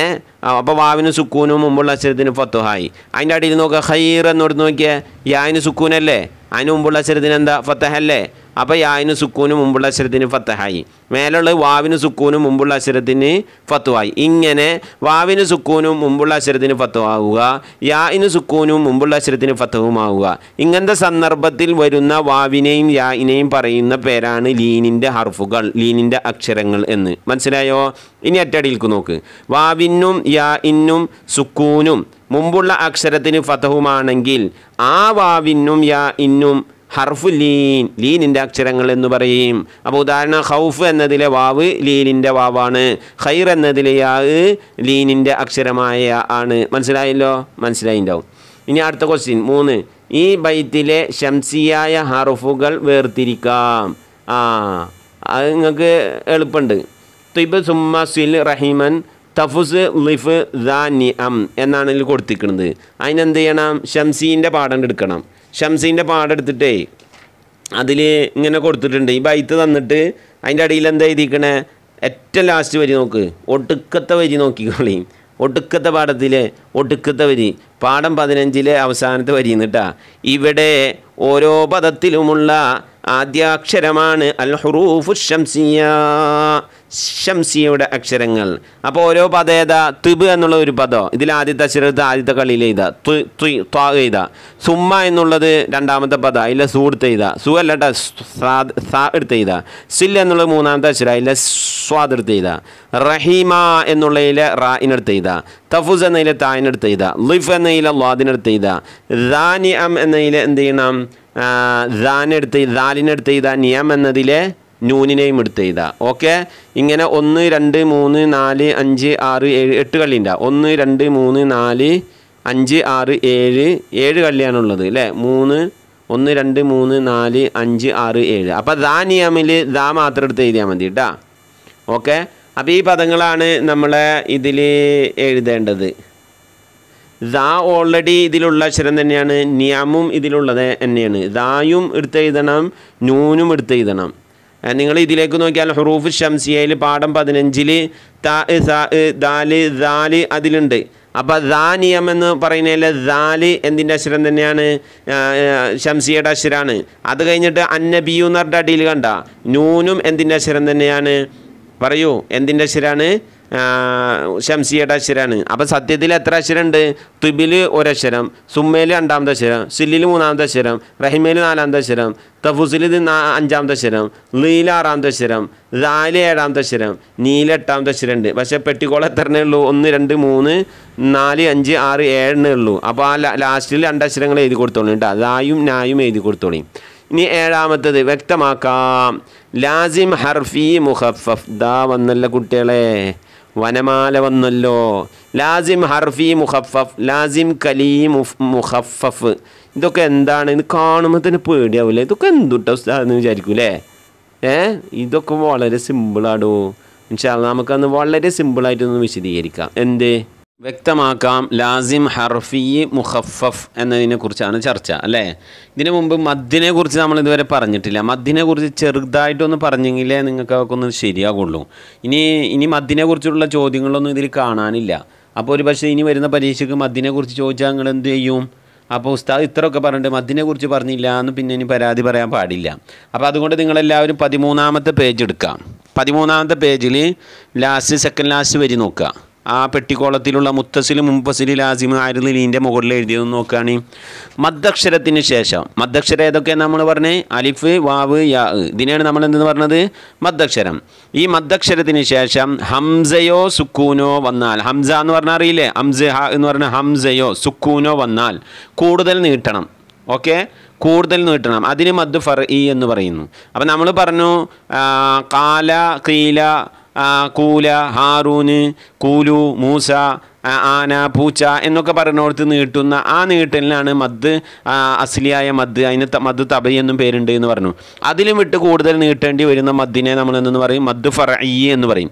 എന്തേ കൂടുതൽ നീട്ടാനുള്ള കാരണം എന്താണ്? മദ്ദക്ഷരമായ അലിഫ് വാവുയ ഇതിന് ശേഷം ചിലപ്പോൾ ഹംസ വന്നിട്ടുണ്ടാവും അപ്പോൾ അവിടെ കൂടുതൽ നീട്ടേണ്ടി വരും. ചിലപ്പോൾ സുക്കൂനായിരിക്കും അതിന് ശേഷം വന്നിട്ടുണ്ടാവുക. സുക്കൂന് വരിക എന്നാൽ സുക്കൂൻ മാത്രമല്ലേ വരിക? മദ്ദക്ഷരത്തിന് ശേഷമുള്ള അക്ഷരത്തിന് സുക്കൂൻ വന്നിട്ടുണ്ടാവും. അപ്പോൾ കൂടുതൽ നീട്ടേണ്ടി വരും. ഇങ്ങനെ കൂടുതൽ നീട്ടേണ്ടി വരുന്ന മദ്ദിനാണ് മദ് ഫറഈ എന്ന് പറയുന്നത്. മദ് ഫറഈ അഞ്ച് വിധമാണ്. ഒന്ന് മുത്തസിൽ മുംഫസിൽ ലാസിമ് ആരിലീൻ ഓക്കെ? ഇനി അടുത്ത പാഠം ഒരുക്കിയ പാഠം ഏഴ്. അൽ മദ്ദുൽ മുത്തസിലു അൽ മുംഫസിലു. ഉദാഹരണം നിങ്ങൾ നോക്കി. യതസാഅലൂൻ ഇതിൽ മദ്ദക്ഷരമുണ്ടോ എവിടെയാണ് മദ്ദക്ഷരം അത് കണ്ടുപിടിക്കണം നമ്മൾ ആദ്യം അമ്മ മദ്ദക്ഷരം എന്ന് പറഞ്ഞാൽ അലിഫ് വാവ് യാ ഇതാണ് മദ്ദക്ഷരം അമ്മയിലുണ്ടോ ഇല്ല. യത്തസാ അലൂനിൽ ഉണ്ട്. മദ്ദക്ഷരം എന്ന് പറഞ്ഞാൽ അർക്കത്തില്ലാതെ വരുന്ന അലിഫും വാവും യാ ആണ് കേട്ടോ എവിടെ അലിഫും വാവും യാവും കണ്ട ഇത് മദ്ദക്ഷര എന്ന് പറഞ്ഞ് ചാടി പിടിക്കരുത്. യത്തസാലുൻ എന്ന് പറഞ്ഞാൽ ആദ്യത്തെ യാ ആണ്. അത് അത് മദ്ദക്ഷരാണോ അല്ല. നീട്ടാൻ വേണ്ടി ഉപയോഗിക്കുന്ന അലിഫ് വാവ് യാ ഇപ്പം കാല എന്ന് പറയുമ്പോൾ ആ കാലിനെ നീട്ടാൻ ഉപയോഗിച്ച കാഫിനെ നീട്ടാൻ ഉപയോഗിച്ച അലിഫല്ലേ കീല എന്ന് പറയുമ്പോൾ കീലിനെ നീട്ടാൻ ഉപയോഗിച്ച യാ അല്ലേ? അല്ലെ? കൂലു എന്ന് പറയുമ്പോൾ കൂ എന്ന് പറയുന്ന ലൊമ്മിനെ നീട്ടാൻ ഉപയോഗിച്ചത് വാവല്ലേ? ഇങ്ങനെ വരുന്ന അലിഫ് വാവ് യാ ആണ് മദ്ദക്ഷരം എന്ന് നമ്മൾ പറയുന്നത്. അപ്പോൾ ഇതിൽ അമ്മ യത്ത സാ അലൂൻ എന്നതിൽ മദ്ദക്ഷരം ഏതാ? യത്ത സാ കാരണം സാ കണ്ടില്ല? സാ സാ കഴിഞ്ഞ് സാക്ക് ഫത്ത ഇട്ടിട്ട് സാനെ നീട്ടാൻ ഒരു അലിഫ് അവിടെ ഇട്ടിട്ടുണ്ട്. അതാണ് മദ്ദക്ഷരം. സാ എന്നുള്ളിടത്തുള്ള അലിഫാണ് മദ്ദക്ഷരം. മനസ്സിലായോ? നിങ്ങൾ നോക്കുന്നുണ്ടോ കുട്ടികളെ? ബുക്കിൽ നോക്കുന്നുണ്ടോ യത്ത സാ എന്ന് പറയുന്ന സാ ഇനെ നീട്ടാൻ ഇട്ടിരിക്കുന്ന അലിഫാണ് എന്ത് മദ്ദശരം? അതിനുശേഷം ആര് വന്നിട്ടുണ്ട്? ഹംസ വന്നിട്ടുണ്ട്. നമ്മളെ ഹംസൊക്കെ വന്നിട്ടുണ്ട് അവിടെ. ആ എന്നുള്ള ഹംസ വന്നില്ലേ? അപ്പോൾ മദ്ദക്ഷരത്തിന് ശേഷം ഹംസ വന്നു. നമ്മൾ മുമ്പ് എന്താ പറഞ്ഞത്? മദ്ദക്ഷരത്തിന് ശേഷം ഹംസയോ സുക്കൂനോ വന്നാൽ കൂടുതൽ നീട്ടണം. ഇവിടെ മദ്ദക്ഷരത്തിന് ശേഷം ഹംസ വന്നു. വന്നില്ലേ? വന്നോ? വന്നു. ഇനി അടുത്ത ഉദാഹരണം നോക്കാം. ഫലമ്മ തൊറ അതി തൊറ അതി ആ തൊറോ എന്ന് പറയുന്ന റാ ഇനി ഫത്തഹാണ് അതിന് ശേഷം അലിഫ് വന്നിട്ടില്ലേ? മദ്ദക്ഷരം വന്നു. തൊറോ എന്നുള്ള മദ്ദക്ഷരം വന്നു. അതിന് ശേഷം ഹംസ വന്നില്ലേ? വന്നു. ശരിയായോ? ഇനി ഉദാഹരണം പറയണ്ടോ? ഇനി അതിന്റെ ഇപ്പുറത്ത് നോക്കിയേ. കല്ല ഇന്നഹ തദ്കിറ. കല്ല. കാ കഴിഞ്ഞിട്ട് ലാമിന് ശബ്ദുണ്ട് ഫത്തഹുണ്ട്. അതിന് ശേഷം ലാമിന് നീട്ട ഒരു അലിഫ് ഇട്ടിട്ടുണ്ട്. വന്നിട്ടുണ്ട്. കല്ല എന്ന് മദ്ദശ്വരം വന്നു ഇല്ലേ? അത് കഴിഞ്ഞിട്ട് ഇന്നഹ എന്ന് പറയുമ്പോൾ ഈ ഹംസയാണ്. ഈന്റെ അടിയിൽ ഹംസ എടുക്കണുണ്ടോ? ആ ഈന്ന് വെറുതെ ഇട്ടാൽ തന്നെ അലിഫിന് കസർ ഇട്ടിട്ട് ഇട്ടാൽ തന്നെ ഹംസയാണ് അത്. അതിന്റെ പുറമെ നിങ്ങൾക്ക് കാണാൻ വേണ്ടി എന്തിട്ടിട്ടുണ്ട് അലിഫ് ഇട്ടിട്ട് അതിന്റെ അടിയിൽ ഹംസ ഇട്ടിട്ട് പിന്നെയാണ് കസർ ഇട്ട് കൊടുത്തിരിക്കണേ. നീ ഈ നെയ്തന ഹംസ അല്ല എന്ന് വിചാരിക്കണ്ടെന്ന് കരുതിയിട്ട്. അപ്പം ഈ ഇന്നഹ എന്നുള്ള ഈ മദ്ദശ്വരത്തിന് ശേഷം കല്ല എന്നുള്ള ലാമിന് ശേഷമുള്ള അലിഫാണ് മദ്ദശ്വരം അതിനുശേഷം ഈ വന്നു ഹംസ വന്നു. അടുത്ത നോക്കിയേ. ഇന്നീ അഖാഫു ഇന്നി അഖാഫു ഇന്നി എന്നുള്ള നൂനിന് കിസറാണ്. ആ നൂനിനെ നീട്ടാൻ യാവ് വന്നു. ഇന്നി അപ്പം ആ യാവ് മദ്ദക്ഷരമാണ് അതിനുശേഷം തൊട്ടപ്പുറത്ത് എന്ത് വന്നിട്ടുണ്ട്? ഹംസ വന്നിട്ടുണ്ട്. ശരിയായല്ലോ? അപ്പം മദ്ദക്ഷരത്തിന് ശേഷം ഹംസ വന്നതുകൊണ്ട് കൂടുതൽ നീട്ടണം. ഇതിനെ എന്താണ്? മദ് ഫറയി എന്ന് പറയുന്നു. മദ് ഫറയിൽ ഒന്നാമത്തെ മദ് മുദ്ദസിൽ മുത്തസിൽ രണ്ടാമത്തെ മദ് മുംഫസിലാണ്. ഇതിൽ അമ്മയത്ത് സാലുൻ എന്നുള്ളടത്തേക്ക് ഒന്നുകൂടി നിങ്ങൾ വരിക. അമയത്തസാലുൻ എന്നുള്ള മദ്ദക്ഷരം അവിടെ സീന് കഴിഞ്ഞിട്ടുള്ള അലിഫാണ്. അലിഫിന് ശേഷമുള്ള ഹംസ അതേ പദ പദത്തിൽ തന്നെയുള്ളതാണ്. അമ്മ യത്തസാലു എന്നുള്ളൊരു പദമാണ് യത്തസാലു എന്നുള്ളത് ഒരു പദമാണ് ആ പദത്തിൽ തന്നെയാണ് ഹംസ വന്നിക്കുന്നത് അപ്പോൾ ആ ആ ഹംസ അതേ പദത്തിൽ ആ അലിഫിനോട് യത്തസാലു എന്നുള്ള അലിഫിനോട് ചേർന്ന് അതേ പദത്തിൽ തന്നെ വന്നു. അഥവാ മുത്തസിൽ പറഞ്ഞ ചേർന്ന് വരിക. അതേ പദത്തിൽ തന്നെ ഹംസ വന്നു കഴിഞ്ഞാൽ മദ്ദക്ഷരത്തിന് ശേഷമുള്ള ഹംസ അതേ പദത്തിൽ തന്നെ വന്നു കഴിഞ്ഞാൽ മദ് മുത്തസിലി എന്ന് പറയും. മദ് മുത്തസിലി എന്ന് പറയും. കല്ല ഇന്നാദ് തദ്ക്കിറ എന്ന് നോക്കിയാൽ കല്ല എന്നുള്ളത് വേറെ ഒരു പദമാണ് ഇന്നഹ എന്നുള്ള വേറെ പദമാണ് തദ്ക്കിറ എന്നുള്ള വേറെ പദമാണ് അങ്ങനെ മൂന്ന് പദമാണ് അവിടെ ഉള്ളത്. അമ്മ യത്തസാലുന് അമ്മ വേറെ പദം യത്തസാലുൻ വേറെ പദം. യത്തസാലുവിന്റെ ഉള്ളിലാണ് അലിഫും ഹംസയും ഒക്കെ വന്നത് പക്ഷേ ഇവിടെ കല്ല എന്നതിലുള്ള ലാമിന് ശേഷം എന്ത് വന്നിട്ടുണ്ട്? പിന്നെ നമ്മളുടെ അലിഫ് വന്നിട്ടുണ്ട് മധ്യക്ഷരമായ അലിഫ് വന്നിട്ടുണ്ട്. പിന്നെ തൊട്ട അടുത്തുള്ള അടുത്ത പദമാണ് ഇന്നഹ എന്നുള്ളത്. ആ ഇന്നഹയിൽ ആദ്യത്തിലാണ് ഹംസ വന്നിക്കണത് അപ്പോൾ ഇവിടെ നമ്മൾ എന്ത് പറയും? മധ്യക്ഷരത്തിന് ശേഷമുള്ള ഹംസ തൊട്ടടുത്ത പദത്തിലാണ് വന്നത്. അതേ പദത്തിൽ വന്നിട്ടില്ല എന്ന് പറയും. തിരിഞ്ഞോ? മദ്ദക്ഷരത്തിന് ശേഷമുള്ള ഹംസ അതേ പദത്തിൽ വന്നാൽ മദ്ദു മുത്തസിലി അതേ പദത്തിൽ വരാതെ തൊട്ടടുത്ത പദത്തിന്റെ ആദ്യത്തിലാണ് വന്നതെങ്കിൽ മദ്ദു മുംഫസിൽ. മുംഫസിൽ പറഞ്ഞാൽ വിട്ടുപിരിഞ്ഞ് വരിക. ഒരു പദത്തിൽ വരാതെ രണ്ട് പദത്തിലായിട്ട് വരിക. മദ്ദക്ഷരം ഒരു പദത്തിന്റെ അവസാനവും കല്ല എന്നുള്ളത് ഒരു പദമാണ്. അതിന്റെ അവസാനമാണ് മദ്ദക്ഷരമായ അലിഫ് വന്നിട്ടുള്ളത്. ഇന്നഹ എന്നുള്ളത് രണ്ടാമത്തെ പദമാണ്. അതിന്റെ തുടക്കത്തിലാണ് ഹംസ വന്നിട്ടുള്ളത്. അപ്പോൾ രണ്ടും രണ്ട് പദത്തിലാണ് വന്നിരിക്കുന്നത്. പക്ഷേ തൊട്ടടുത്ത് തന്നെ വന്നിരിക്കുന്നത്. ഒരു പദത്തിലല്ല എന്ന് മാത്രം. അപ്പോൾ തൊട്ടടുത്താണ് വന്നിരിക്കുന്നത്. രണ്ടും രണ്ട് പദത്തിലാണ് വന്നതെങ്കിൽ മദ് മുംഫസിലി തൊട്ടടുത്ത് അതേ പദത്തിലാണ് വന്നതെങ്കിൽ മദ് മുത്തസിലി. തിരിഞ്ഞോ? അവ അമ്മയത്ത് സലൂൻ മദ് മുത്തസിലാണ് ഫലമ്മ തൊറാ അത്തി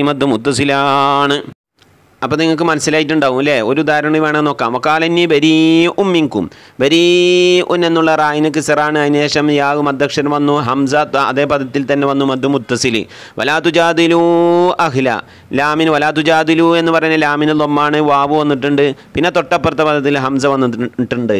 അപ്പോൾ ഇവിടെ മദ് മുംഫസിലാണ്. ഓക്കെ?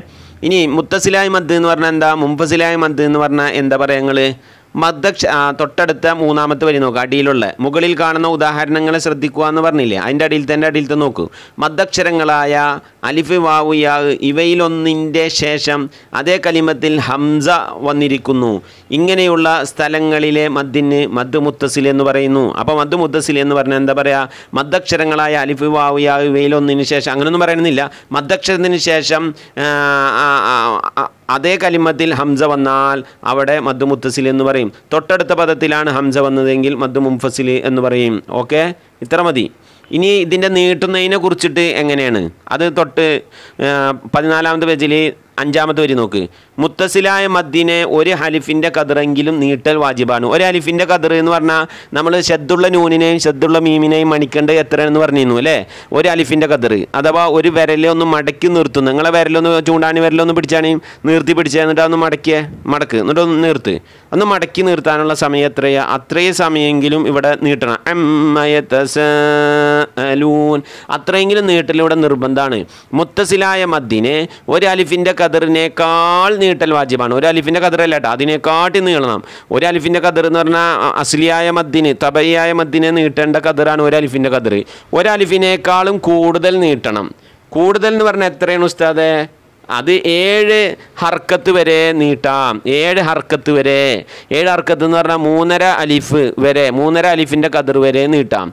അപ്പോൾ മുത്തസിലായ മദ്ദിനെ ഒരു അലിഫിന്റെ കതിറെങ്കിലും അല്ല ഒരു അലിഫിന്റെ കതിറിനേക്കാൾ അതിനെക്കാട്ടും കുറച്ചും കൂടി കൂടുതൽ നീട്ടണം മുത്തസിലായ മുത്തസിലായ മദ്ദിനെ. അത് ഏത് വരെ നീട്ടാം? ഏഴ് ഹർക്കത്ത് വരെ നീട്ടാവുന്നതാണ്. ശരിയായോ? എന്നാലോ മുംഫസിലായ മദ്ദിനെ എത്രയാണ് നീട്ടേണ്ടത്? ഏ? മുംഫസിലായ മദ്ദിനെ നീട്ടേണ്ടത്? ഇവിടെ മുത്തസിലിന്റെ നീട്ടാൻ പറഞ്ഞ അത്ര വരെ നീട്ടൽ ജായിസാണ്. മുത്തസിലായ മധ്യ എത്ര വരെ നീട്ടാന്ന് പറഞ്ഞ ഏഴ് ഹർക്കത്ത് വരെ നീട്ടാവുന്നതാണെന്ന് പറഞ്ഞില്ലേ? അത്ര ഹർക്കത്ത് വരെ മുംഫസിലും നീട്ടാവുന്നതാണ് നീട്ടൽ ജായിസാണ് എന്നാണ് അതിന്റെ നിയമം. ഇനി ഇപ്പുറത്ത് നോക്കിയ അൽ മദ്ദു പാഠം എട്ട് അൽ മദ്ദു ലാസിമ്. മദ് ലാസിമ് അതാണ് ഇപ്പോൾ നമ്മൾ ചർച്ച. ഇപ്പം നമ്മൾ രണ്ട് മദ്ദിനെ കുറിച്ച് പറഞ്ഞു മുത്തസിൽ മുംഫസിൽ പറഞ്ഞു. ഇനി ലാസിമ് ആരു ലീൻ അങ്ങനെ മൂന്ന് മദ്ദ ഉള്ളത്. അതിൽ മദ് ലാസിമ് തന്നെ രണ്ട് മൂന്ന് തരണ്ട്. മദ് ലാസിമ് കലിമി കലി കലിമിയി മുസക്കൽ മുസക്കൽ എന്ന് പറഞ്ഞാൽ പേടിക്കാനൊന്നുമില്ല. മുസക്കൽ എന്ന് പറഞ്ഞാൽ ശബ്ദുള്ളത് അർത്ഥം. മുഹഫഫ് എന്ന് പറഞ്ഞാൽ ശബ്ദില്ലാത്തത് അർത്ഥം. മനസ്സിലായ? അപ്പോൾ ലാസിമ് കലിമി എന്ന് പറഞ്ഞാൽ എന്താ? കലിമി പറഞ്ഞ പദം. ഒരു വാക്കല്ല അക്ഷരങ്ങളല്ല ഒരു പദമായിട്ട് വരുന്നത്. അതിനാണ് കലിമിയ എന്ന് പറയുക മദ് ലാസിമ് നോക്കുക ലാസിമ് കലിമി മുസക്കലുണ്ട്. ലാസിമ് കലിമി മുഹഫഫുണ്ട് അതുപോലെ തന്നെ ലാസിമ് ഹറഫി മുസക്കലുണ്ട്. ലാസിമ് ഹറഫി മുഹഫഫുണ്ട് ഹറഫ് എന്ന് പറഞ്ഞാൽ ഏതാ? ഏ ആ, കലിമി എന്ന് പറഞ്ഞാൽ ഏതാ? കലിമി എന്ന് പറഞ്ഞാൽ രണ്ട് മൂന്ന് അക്ഷരങ്ങൾ കൂടിയതിനെ നമ്മളെന്ന് പറയും കലിമി കലിമി എന്ന് പറയും. ഒരക്ഷരം ഉള്ളതിനെ എന്തെന്ന് പറയും നമ്മൾ ഹർഫ് എന്ന് പറയും. ചിലത് രണ്ട് മൂന്ന് അക്ഷരമായിരിക്കും പക്ഷെ അത് ഹർഫിന്റെ സ്ഥാനത്താണ് അതിനെ നമ്മളും അതിനെ നമ്മൾ എന്ന് തന്നെ പറയാം ഹർഫി എന്ന് തന്നെ പറയാ. ഇനി ഇവിടെ നോക്കാം നിങ്ങൾ ഉദാഹരണങ്ങളിൽ നോക്കി ഒന്ന്. വഹാജഹു കൗമുഹു കാലതു ഹാജൂനി ഫില്ല. വഹാജഹു വഹാജഹു കൗമുഹു കാലതു ഹാജൂനി ഫില്ല. ഇവിടെ നോക്കിയേ അതുഹാ എന്നുള്ള ഹാ ഇന് അതുഹ ജൂനി എന്നുള്ളടത്ത് നോക്കട്ട. അതുഹ എന്നുള്ള ഹായിന് ഫത്തഹാണ് ആ, അതിനുശേഷം മദ്ദക്ഷരം വന്നു അല്ലേ? അതുഹാ ഇന് മദ്ദക്ഷരം വന്നു ഹായിന് നീട്ടാൻ അലിഫ് വന്നു. അതിനുശേഷമുള്ള അക്ഷരത്തിന് എന്താണ് സുക്കൂനാണ്. അതിനുശേഷമുള്ള അക്ഷരത്തിന് സുക്കൂനാണ്. അപ്പം മദ്ദക്ഷരത്തിന് ശേഷം നമ്മൾ മുമ്പ് പറഞ്ഞെന്താ? മദ്ദക്ഷരത്തിന് ശേഷം ഹംസ വന്നാലും മദ്ദക്ഷരത്തിന് ശേഷം സുക്കൂന് വന്നാലും കൂടുതൽ നീട്ടണം എന്ന് പറഞ്ഞു. നേരത്തെ നമ്മൾ ഹംസ വന്നതിന് ഉദാഹരണമാണ് മുത്തസിലും മുമ്പസിലും പറഞ്ഞത്. ഇവിടെ പറയുന്നത് മദ്ദക്ഷരത്തിന് ശേഷം സുക്കൂൻ വന്ന കാരണം കൊണ്ട് കൂടുതൽ നീട്ടേണ്ടി വരും എന്നാണ് പറഞ്ഞത്. എവിടെ ഇവിടെ സുക്കൂന് വന്ന് സുക്കൂനൊന്നും കാണാനില്ലല്ലോ. അത് ഹാ എന്ന് പറഞ്ഞിടത്ത് ഹായിന് ഫത്തഹ് ഉണ്ട് അതിന് ശേഷം അലിഫ് ഉണ്ട് അതിന് ശേഷം എവിടെ സുക്കൂന്? ഹാജു എന്നുള്ള ശബ്ദുള്ള ഏതക്ഷരവും രണ്ടക്ഷരമാണ് അപ്പോൾ ജു എന്നുള്ളത് എന്താണ്? ജ് പ്ലസ് ജു. അതാണ് ജു ആയിക്കണത്. അതായത് സുക്കൂനുള്ള ജീമിനെ ഹർക്കത്തുള്ള ജീമിലേക്ക് ഇതാം ചെയ്ത് ശ്രദ്ധ ചെയ്ത് ഒറ്റക്ഷരമായി ഉച്ചരിച്ചപ്പോഴാണ് ജു വന്നത്. ഉമ്മ സമം ഉമ്മുമ ഉപ്പ സമം ഉപ്പുപ്പ. ഏ ഉപ്പുപ്പ അല്ല കേട്ടാ. ഉമ്മ സമം ഉമ്മ. ഈ ഉമ് എന്നുള്ള സുക്കൂനുള്ള മീമിനെ മ എന്നുള്ള ഫത്താക്കോട്ട മീമിലേക്ക് ഇതാം ചെയ്ത് ശ്രദ്ധ ചെയ്ത് ഒറ്റ അക്ഷരമായിട്ട് ഉച്ചരിക്കുമ്പോൾ ഉമ്മയി. ഉപ്പയും അങ്ങനെയാണ്. ഉപ്പുപ്പ ഉപ്പ. അപ്പോൾ ഇതിൽ യഥാർത്ഥത്തിൽ ഉമ്മനെ അയച്ചാൽ എന്താകും? ഉമ്മ എന്നുള്ള ആ അക്ഷരത്തിന് അയച്ചാൽ ഉമ്മുമ എന്നാകും. അപ്പോൾ ആദ്യത്തെ അക്ഷരം എന്താണ്? ആദ്യത്തെ മീമ് സുക്കൂനല്ലേ? അപ്പോൾ അത് ഹാ ജൂനി എന്നുള്ള ഹാ കഴിഞ്ഞിട്ടുള്ള ജൂൻ അയച്ചു കഴിഞ്ഞാൽ ജി ജു എന്നാകും. ജി ജു. അപ്പോൾ ആ മദ്ദക്ഷരമായ അലിഫിന് ശേഷം അത് ഹാ എന്ന് പറഞ്ഞ ഹായിന് ശേഷമുള്ള അലിഫിന് ശേഷമുള്ള ജി ജു എന്നുള്ള ജീമിന് സുക്കൂനല്ലേ? അപ്പോൾ മദ്ദക്ഷരത്തിന് ശേഷം ഷെദ് വന്നു കഴിഞ്ഞാൽ മനസ്സിലാക്കുക എന്തെന്ന്? അവിടെ ഒരു സുക്കൂനുണ്ട്. ഏത് ഷെദ്ദുള്ള അക്ഷരവും രണ്ടക്ഷരമാണ് അതിൽ ആദ്യത്തെ അക്ഷരം സുക്കൂന് രണ്ടാമത്തെ അക്ഷരം അർക്കത്താണ്. മനസ്സിലായില്ലേ? അപ്പോൾ അത് ഹാജൂനി എന്ന് പറയുന്നിടത്ത് എന്തുണ്ട്? ഹായിന് ശേഷം അലിഫുണ്ട്. അലിഫിന് ശേഷം ഉള്ള അക്ഷരം ഷെദ്ദാണ് ഷെദ്ദാണെങ്കിൽ ആദ്യത്തെ സുക്കൂനായിരിക്കും. അപ്പോൾ നമ്മൾ എന്ത് പറയും? മദ്ദക്ഷരത്തിന് ശേഷം സുക്കൂൻ വന്നു. അപ്പോൾ മദ്ദക്ഷരത്തിന് ശേഷം സുക്കൂൻ വന്ന കാരണത്തിൽ നീട്ടേണ്ടി വരുന്ന മദ്ദിനാണ് മദ് ലാസിം എന്ന് പറയുക. മദ് ലാസിം എന്നാൽ എന്ത്? ഇനി തൊട്ട് ഇപ്പുറത്തുള്ള ചോദ്യത്തിലേക്ക് നോക്കുക. അല്ല തൊട്ടിപ്പുറത്തുള്ള ഉദാഹരണം ലാസിം കലിമി മുസക്കലും മുഹഫഫൊക്കെ നമുക്ക് പറയാട്ടോ ലാസിം കലിമി മുഹഫഫിന്റെ അടിയിൽ കണ്ട ആൽ ആന ആൽ ആന. അപ്പോൾ ആ എന്നുള്ള ഹംസക്ക് ഫത്താണ് അതിന് നീട്ടാൻ അലിഫ് ഇട്ടിട്ടുണ്ട്. അലിഫിന് ശേഷമുള്ള ലി ലാമിനെന്താണ് സുക്കൂനാണ് അല്ലേ? സുക്കൂനല്ലേ? ലാമിന് സുക്കൂനാണ്. അപ്പോൾ മദ്ദക്ഷരത്തിന് ശേഷം സ്ഥിരമായി സുക്കൂൻ അതിനെപ്പോഴും സുക്കൂൻ തന്നെയാണ്. ആൽ ആന. മദ്ദക്ഷരത്തിന് ശേഷം സ്ഥിരമായി സുക്കൂന് വന്നു കഴിഞ്ഞാൽ ആ മദ്ദക്ഷരത്തിനെ കൂടുതൽ നീട്ടണം. ആൽ ആന. അങ്ങനെ ഓതണം. ഇങ്ങനെ ഓതുന്ന മദ്ദിനാണ് മദ് ലാസിമ് എന്ന് പറയുക. ഓക്കെ? ആൽ ആന എന്ന് പറയുന്ന മദ്ദക്ഷരത്തിന് ശേഷം എന്ത് വന്നു? ലാ സുക്കൂന് വന്നു. സ്ഥിരമായ സുക്കൂന് വന്നു. ആ സ്ഥിരമായ സുക്കൂൻ വന്ന കാരണത്താൽ ഇവിടെ കൂടുതൽ നീട്ടണം. ഇനി നോക്കിയാൽ എന്താണ് ലാസിമി കലിമി മുസക്കൽ? എന്താണ് ലാസിമി കലിമി മുഹഫഫ്? മുസക്കൽ എന്ന് പറഞ്ഞാൽ ഷെദ്ദുള്ള ഷെദ്ദുള്ള അക്ഷരം വരിക. മദ്ദക്ഷരത്തിന് ശേഷം ഷെദ്ദുള്ള അക്ഷരം വരിക. മദ്ദക്ഷരത്തിന് ശേഷം ഷെദ്ദുള്ളാത്ത അക്ഷരം വന്നു കഴിഞ്ഞാൽ മുഹഫഫ് എന്ന് പറയും. ഇപ്പം നോക്കിയാൽ കാല അതു ഹാജൂനി എന്ന് പറയുന്ന ജീമിന് ഷെദ് വന്നില്ലേ? അതു ഹാ എന്ന് പറയുന്ന ഹാ ഇന് ശേഷമുള്ള മദ്ദക്ഷരമായ അലിഫിന് ശേഷം ഷെദ്ദുള്ള അക്ഷരം വന്നാൽ മുസക്കൽ മുസക്കൽ പറഞ്ഞാൽ ഭാരമുള്ളത് ഷെദ്ദുള്ളത്.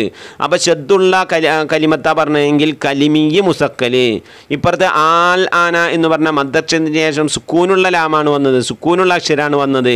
അപ്പോൾ അതിന് കനം കുറവാണ് അതിന് മുഹഫഫ് എന്ന് പറയും.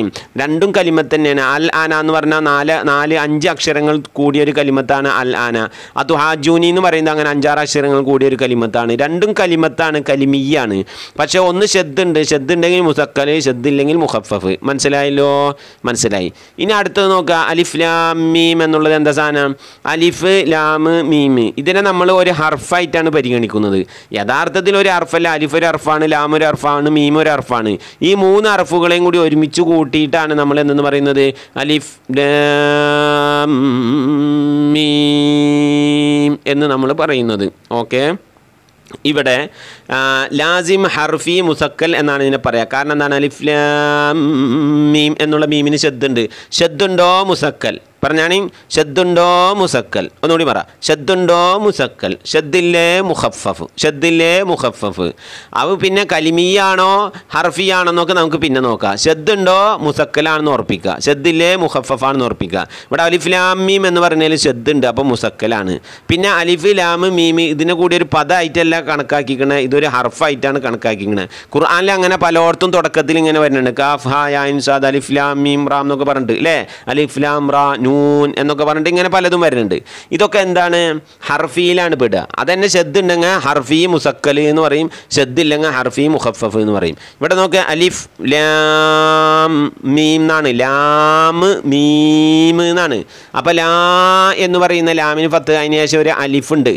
അതുകൊണ്ടാണ് നമ്മൾ ലാ എന്ന് പറയുന്നത്. ലാ കഴിഞ്ഞിട്ട് പിന്നെ പറയണ മീമേതാ മീമിന് സുക്കൂനല്ലേ? ലാം. ലാം മീം എന്നല്ല പറയണത്? ലാം. അപ്പം മധ്യക്ഷരത്തിന് ശേഷം സ്ഥിരമായി സുക്കൂന് വന്നു. അപ്പം അതുകൊണ്ട് എന്ത് ചെയ്യണം? അവിടെ കൂടുതൽ നീട്ടണം.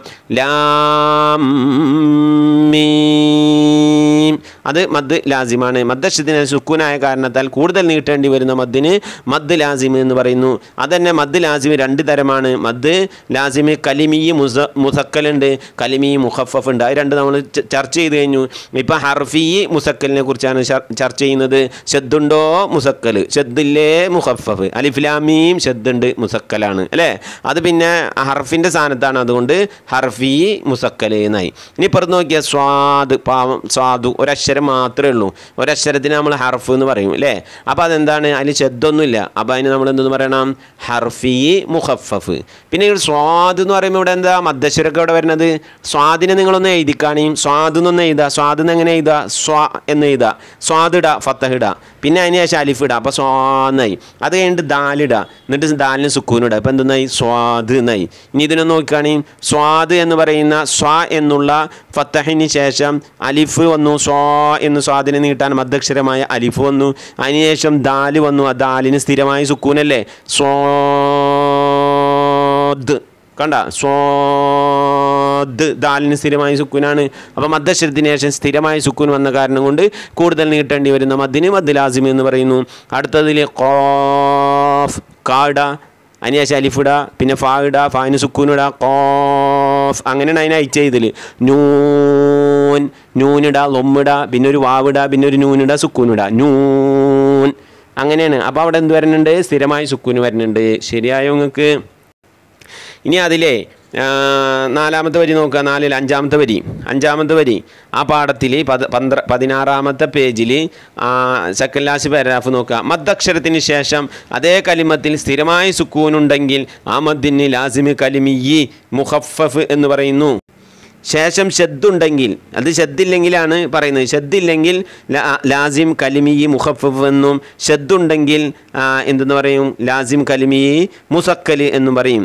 ഇനി ഹർഫാണ് എങ്കിലോ ഏതുപോലെ അലിഫ്ലാമീം താസീം പോലെയാണെങ്കിൽ അത് ലാസീം ഹർഫി ഷദ്ദുണ്ടെങ്കിൽ മുസക്കൽ എന്നും ഷദ്ദില്ലെങ്കിൽ മുഹഫഫ് എന്നും പറയും. നിങ്ങൾക്ക് ഇപ്പോൾ മനസ്സിലായിട്ടുണ്ടാവും അല്ലേ? ഇതിൽ ഒന്നാമത്തെ ക്വസ്റ്റ്യൻ എന്താ? ഉത്തരം പറയാം. മദ് ലാസിം എന്നാൽ എന്ത്? അപ്പോൾ എന്താ പറയുക മദ്ദക്ഷരത്തിന് ശേഷം മദ്ദക്ഷരത്തിന് ശേഷം സ്ഥിരമായി സുക്കൂൻ വരുന്ന കാരണത്താൽ നീട്ടേണ്ടി വരുന്ന മദ്ദിന് മദ് ലാസിം എന്ന് പറയുന്നു. ഓക്കെ? മദ് ലാസിമുകൾ ഏതെല്ലാം? മദ് ലാസിമുകൾ നാലെണ്ണാണ്. മദ് ലാസിം കലിമി മുസക്കൽ മദ് ലാസിം കലിമി മുഹഫഫ് മദ് ലാസിം ഹർഫി മുസക്കൽ മദ് ലാസിം ഹർഫി മുഖഫഫ് അതൊക്കെ ആ പെട്ടിക്കോളത്തിന് മേലെ കൊടുത്തിട്ട് നോക്കി എഴുതണം. ഇനി മൂന്നാമത്തെ ക്വസ്റ്റ്യൻ എന്താ? ലാസിം കലിമി മുസക്കൽ ആവുന്നത് എപ്പോൾ? ലാസിം കലിമിയെ മുസക്കൽ ആകുന്നത് എപ്പോൾ? ഷെദ്ദുണ്ടെങ്കിൽ കലിമി മുസക്കൽ എന്നും ഷെദ്ദില്ലെങ്കിൽ കലിമി മുഹഫഫ് എന്നും പറയും. ശരിയായോ? ലാസിമ് ഹർഫി മുസക്കലാകുന്നത് എന്താണ്? ഹർഫിയായ ഹർഫിയായതിൽ ഷെദ്ദുണ്ടെങ്കിൽ മുസക്കൽ എന്നും ഷെദ്ദില്ലെങ്കിൽ മുഹഫഫ് എന്നും പറയും. ഓക്കെ? ഇത്രയാണ് നമുക്ക് പഠിക്കാനുള്ളത് ഈ വിഷയത്തിൽ. ഇനി ഇതിലൊരു ചോദ്യം ചോദിക്കുന്നുണ്ട്. ഒരു ഇമ്പോർട്ടന്റ് ചോദ്യമായിട്ട് ഉസ്താദിന് തോന്നുന്ന ഒരു ചോദ്യമാണ്. അഞ്ചാമത്തെ ചോദ്യം. ലാസിം കലിമിയി മുഖഫഫ് ആകുന്ന ലാസിം അല്ല ആറാമത്തെ ക്വസ്റ്റ്യൻ ഖുർആാനിൽ എത്ര തവണ ലാസിം ഹർഫി മുഹഫഫായ മദ് വന്നിട്ടുണ്ട് എന്നാണ് ചോദ്യം. ഖുർആാനിലെ ആകെ എന്താണ്? രണ്ട് സ്ഥലത്താണ് ഇത് വന്നിട്ടുള്ളൂ. അതായത് രണ്ട് സ്ഥലത്തും വന്നിരിക്കുന്നത് ഇങ്ങനെ തന്നെയാണ്. നമ്മൾ രണ്ടാമത്തെ പെട്ടിക്കോളത്തിൽ കാണുന്നില്ല. ആൽ ആന മദ്ദക്ഷരത്തിന് ശേഷം സുക്കൂന് വന്നു ശബ്ദില്ലാതെ അല്ലേ? ആൽ ആന ഇത് നിങ്ങൾ ഇവിടെ നോക്കൂ പതിനേഴാമത്തെ പേജിൽ ആ മേലത്തെ പാരഗ്രാഫിൽ ലാസ്റ്റ് വരി സെക്കൻഡ് ലാസ്റ്റ് വരി നോക്കൂ. ലാസിം കലിമി മുഖഫഫായ മദ് സൂറത്ത് യൂനിസിൽ രണ്ട് തവണ വന്നിട്ടുണ്ട്. മറ്റൊരിടത്തും ആ മദ് വന്നിട്ടില്ല. അപ്പോൾ സൂറത്ത് യൂനിസിൽ രണ്ട് തവണ വന്ന മദ് ഏതാണ്? മദ് ലാസിം കലിമി മുഹഫഫ്. ഇനി പരീക്ഷയ്ക്ക് ചോദിക്കാണ് മദ് ലാസിം കലിമി മുഹഫഫ് ഖുർആാനിൽ എത്ര ഓർത്തുണ്ട്? ആകെ ഒരിടത്തുള്ളൂ. ഏതാ സൂറത്ത്? സൂറത്ത് യൂനിസ്. അങ്ങനെ കുറേ കാര്യങ്ങളിൽ നിന്ന് കിട്ടി. ചോദ്യത്തിലേക്ക് കടക്കാം. വ്യക്തമാക്കാം. ലാസിം ഹർഫി മുഖഫഫ്. എന്നാൽ എന്ത് എന്നാണ് ചോദ്യം. അതിന് പതിനേഴാമത്തെ പേജിൽ മേലത്തെ ടോപ്പിലത്തെ വരി നോക്കുക. ഹിജായിയായ ഹർഫിലാണ് സുക്കൂൻ വന്നതെങ്കിൽ ആ മദ്ദിന് ലാസിം ഹർഫി മുഖഫഫ് എന്ന് പറയും. ഹിജായിയായ ഹർഫ് എന്ന് പറഞ്ഞാൽ ഏതാ? അലിഫ് ബാ എന്ന് പറഞ്ഞിട്ടുള്ള ഇരുപത്തെട്ട് അക്ഷരങ്ങൾക്ക് ഇജായിയായ ഹർഫ് എന്ന് പറയാം. ആ ഇജായിയായ ഹർഫിലാണ് സുക്കൂൻ വന്നത്. ഉദാഹരണം സ്വാദ്. അതിലല്ലേ ഇപ്പോൾ സുക്കൂൻ വന്നത്? സ്വാദ് എന്ന് അഴിച്ച് ചെയ്തുമ്പോഴല്ലേ സുക്കൂൻ വന്നത്? അങ്ങനെ ഇജായിയായ ഹർഫിലാണ് സുക്കുൻ വന്നത് എങ്കിൽ ലാസിമ് ഹർഫി മുഹഫഫ് എന്ന് പറയും. ആ സുക്കൂനിന് ശേഷം ഷെദ്ദുണ്ടെങ്കിൽ അവയുടെ ശേഷം ഷെദ്ദുള്ള അക്ഷരമാണ് എങ്കിൽ ആ മദ്ദിന് ലാസിം ഹർഫി മുസക്കൽ എന്ന് പറയും. എന്താ പറയുക ഇജായിയായ ഹർഫിന് ശേഷം അല്ല മദ്ദക്ഷരത്തിന് ശേഷം. എന്താ പറയുക മദ്ദക്ഷരത്തിന് ശേഷം ശേഷം ഷദ്ദുള്ള അവയുടെ ശേഷം ഷദ്ദുള്ള അക്ഷരമാണെങ്കിൽ ആ മദ്ദിന് ലാസിം ഹർഫി മുസക്കൽ എന്ന് പറയും. ശരിയായോ? ഹിജായിയായ അർഫി ഹിജായിയായ അർഫിലാണ് സുക്കൂൻ വന്നത് എങ്കിൽ ആ മദ്ദിന് ലാസിം ഹർഫി മുഹഫഫ് എന്ന് പറയുന്നു. പറഞ്ഞു മേലത്തെ വരി. ഒന്നുകൂടി നോക്കൂ മേലത്തെ വരി. ഹിജായിയായ ഹർഫിലാണ് സുക്കൂൻ വന്നതെങ്കിൽ ആ മദ്ദിന് ലാസിം ഹർഫി മുഹഫഫ് എന്ന് പറയും. അതങ്ങനെ തന്നെ കാണാതെ പഠിക്കുക എന്നിട്ട് എന്തെന്ന് പറയണം? അവയുടെ ശേഷം ഷെദ്ദുണ്ടെങ്കിൽ ഏതുപോലെ? അലിഫ്ലാം മീം. ലാം എന്നുള്ള ഹിജായിയായ അർഫിന് ശേഷം മീം എന്നുള്ള വേറൊരു അക്ഷരം വന്നു. പക്ഷേ മീമിന് ഷെദ്ദുണ്ട് അങ്ങനെ അവയുടെ ശേഷം ഷെദ്ദുള്ള അക്ഷരമാണെങ്കിൽ ആ മദ്ദിന് ലാസിം ഹർഫി മുസക്കൽ എന്ന് പറയും. ശരിയായോ? ഓക്കെ. രണ്ടാമത്തെ ക്വസ്റ്റ്യൻ അത് ലാസിം കലിമി മുഹഫഫ് എന്ന് പറഞ്ഞാൽ എന്താണ്? അത് നമ്മളിപ്പോൾ പറഞ്ഞു അല്ലേ മദ്ദക്ഷരത്തിന് ശേഷം അതേ കലിമത്തിൽ സ്ഥിരമായ പതിനാറാമത്തെ പേജിൽ അവസാനത്തെ മൂന്ന് വരി നോക്കാം. മദ്ദക്ഷരത്തിന് ശേഷം അതേ കലിമത്തിൽ സ്ഥിരമായ സുക്കൂനുണ്ടെങ്കിൽ ആ മദ്ദിന് ലാസിമ് കലിമിയെ മുഹഫഫ് എന്ന് പറയും. ഓക്കെ? ഇനി മുസക്കലാണ് ചോദിച്ചെങ്കിലോ ശേഷം ഷെദ്ദുള്ള അക്ഷരമാണ് വന്നതെങ്കിൽ ആ മദ്ദിന് ലാസിമ് കലിമി മുസക്കൽ എന്ന് പറയും. ഓക്കെ? അതങ്ങോട്ട് പഠിക്കുക ഇനി അടുത്തത് ഇദ്ഗാം എന്നാൽ എന്ത് ഇഹ്ഫ എന്നാൽ എന്ത് എന്നാണ് ചോദ്യം. മൂന്നാമത്തെ ഇദ്ഗാം എന്നാൽ എന്ത് ഇതിന്റെ ഉത്തരത്തിന് വേണ്ടി ഇതാം എന്നാൽ എന്ത് എന്ന ചോദ്യത്തിന് ഉത്തരം. അടുത്ത എന്താണ് ഇതാം എന്നാൽ എന്ത്. ഇതാം എന്നാൽ എന്ന് എന്ത് എന്ന ചോദ്യത്തിന് ഉത്തരം ഇതാണ്. പിന്നെ ഇതാം എന്നാൽ എന്ത്. പാഠം നാല് ഒമ്പതാമത്തെ പേജ് എടുക്കുക. അതിൽ നിങ്ങൾക്ക് ഇങ്ങനെ കാണാം. ഫസ്റ്റത്തെ പെട്ടിക്കോളം കഴിഞ്ഞതിന് ശേഷം ഈ ഉദാഹരണങ്ങളിലെല്ലാം എന്ന് കഴിഞ്ഞിട്ട് കണ്ട. സുക്കൂനുള്ള അക്ഷരത്തെ ശേഷം വന്ന ഹർക്കത്തുള്ള അക്ഷരത്തിലേക്ക് ചേർത്തി. ശബ്ദോടുകൂടി ഒരക്ഷരമായി ഉച്ചരിക്കുന്നതിന് ഇത് ആമ് എന്ന് പറയുന്നു. ഇതാണ് അതിന്റെ ഉത്തരം കേട്ടോ എന്താണ്? സുക്കൂനുള്ള അക്ഷരത്തെ ശേഷം വന്ന ഹർക്കത്തുള്ള അക്ഷരത്തിലേക്ക് ചേർത്തി ശബ്ദോടുകൂടി ഒരക്ഷരമായി ഉച്ചരിക്കുന്നു. ഇതിനാണ് ഇത് ആം എന്ന് പറയുന്നത്. ഓക്കെ.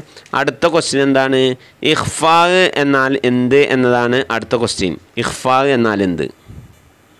അതിന്റെ ഉത്തരം കിട്ടാനേ ഏഴാമത്തെ പേജ് എടുക്കാം. ഏഴാമത്തെ പേജിൽ ഫസ്റ്റ് വരി ആ പെട്ടിക്കോളത്തിന് താഴെ. മുകളിലെ ഉദാഹരണങ്ങൾ കാണുക എന്ന് പറഞ്ഞിട്ട് കഴിഞ്ഞാൽ അത് കഴിഞ്ഞിട്ട് സുക്കൂനുള്ള മീമിന് ശേഷം ബാഗ് വന്നിട്ടുണ്ട് എന്ന് പറഞ്ഞാൽ കണ്ട. രണ്ടാം വരിയിൽ സുക്കൂനുള്ള മീമിന് ശേഷം ഹർക്കത്തുള്ള മീമാണ് വന്നത്. അത് കഴിഞ്ഞല്ലോ? അത് കഴിഞ്ഞിട്ടുള്ള നമ്മളെ ഉത്തരം. എന്താണ്? സുക്കൂനുള്ള മീമിന് ശേഷം ബാ വന്നാൽ മീമിനെ മറച്ച് മണിച്ച് ഉച്ചരിക്കണം. ഇതിന് ഇഹ്ഫാഗ് എന്ന് പറയും. എന്ന് പറഞ്ഞാണ് സുക്കൂനുള്ള മീമിന് ശേഷം ബാ വന്നാൽ മീമിനെ മറച്ച് മണിച്ച് ഉച്ചരിക്കണം. ഇതിന് ഇഹ്ഫാഗ് എന്ന് പറയുന്നു. അപ്പോൾ ഇദ്ഗാം എന്നാൽ എന്ത് ഇഹ്ഫാഗ് എന്നാൽ എന്ത് ലാസിമ് കലിമി മുഹഫഫ് ലാസിമ് ഹർഫി മുഹഫഫ് ഇതൊക്കെ നമ്മൾ പറഞ്ഞു. പിന്നെ ഇതിൽ ഇനി ആകെ ചർച്ച ചെയ്യാതെ പോയിട്ടുള്ള ആ, പാഠം ഇദ്ഗാമ് മൂന്ന് തരണ്ട്. ഏതാണ്? ഇതാ ജാനിസൈനി ഇതാ മുത്തജാനിസൈനി ഇതാ കാരിബേനി എന്ന് പറഞ്ഞിട്ട് മൂന്ന് തരം ഇതാമുണ്ട്. ഒമ്പതാമത്തെ പേജിലെ പെട്ടിക്കോളം നോക്കുക. ഫസ്റ്റ് പാഠത്തിന്റെ തുടക്കം. ഇളുരിബി അസാക്ക ഇളുരിബി അസാക്ക. ആ ബാവും ബാവും തമ്മിലാണ് അവിടെ എന്ത് ചെയ്തിരിക്കുന്നത്? ഇത് ഇതാം ചെയ്തിരിക്കുന്നത്. ഒരേപോലത്തെ അക്ഷരങ്ങൾ തമ്മിലാണ് ഇതാം ചെയ്യുന്നതെങ്കിൽ ഇതാ മുസ മുത്തമാസിലൈനി എന്ന് പറയും. ഫമാറ ഫമാ റബിഹത്തി ജാറത്തുഹും. താവും താണ് അവിടെ ഇത് ഇതാം ചെയ്തിരിക്കുന്നത് അല്ലേ? ഒരേപോലത്തെ അക്ഷരം തമ്മിലാണ് ഇതാമെങ്കിൽ ഇതാ മുത്തമാസിലൈനി എന്ന് പറയും. അവിടെയുള്ള ഉദാഹരണങ്ങളൊക്കെ അങ്ങനെ തന്നെയാണ്. അയിനും അയിനും ലാമു ലാമുമാണ് ഇനി പാഠം അഞ്ചിലേക്ക് മറിക്കുക പതിനൊന്നാമത്തെ പേജിലേക്ക് മറിക്കുക താഴെ കൊടുത്ത ഉദാഹരണങ്ങൾ ശ്രദ്ധിക്കുക. ഇർക്കമ്മാന ഇർക്കബ് മാനാണ് ഇർക്കമ്മാന ബാവും മീമും തമ്മിലാണ് ഇതാം വന്നിട്ടുള്ളത്. ബാ ബാവും മീമും തമ്മിലാണ് ഇതാം വന്നിട്ടുള്ളത്. ഇതെന്താണ്? ഒരേ മഹ്റജിൽ നിന്ന് പുറപ്പെടുന്ന ബാ മീമ് രണ്ടും ചുണ്ടിൽ നിന്ന് പുറപ്പെടുന്ന അക്ഷരങ്ങളാണ്. രണ്ടും ചുണ്ടിൽ നിന്ന് പുറപ്പെടുന്ന അക്ഷരങ്ങളാണ്. ഒരേ മഹ്റജിൽ നിന്ന് പുറപ്പെടുന്ന വ്യത്യസ്തമായ രണ്ട് അക്ഷരങ്ങളിൽ ഒന്നാമത്തേത് സുക്കൂനുള്ളത് രണ്ടാമത്തേത് ഹർക്കത്തും ഉള്ളതായിട്ടാണ് ഇവിടെ ബാവും മീമും വന്നിരിക്കുന്നു വന്നിരിക്കുന്നത്. ഇങ്ങനെ വന്നാൽ ഇതാം ചെയ്യൽ വാജിബാണ്. ഈ ഇതാമിനാണ് ഇതാം മുത്തജാനിസൈനി എന്ന് പറയാം. അപ്പോൾ ഇതാം മുത്തജാനിസൈനി എന്നാൽ എന്തെന്ന്? ചുരുക്കി അങ്ങനെ പറയണം.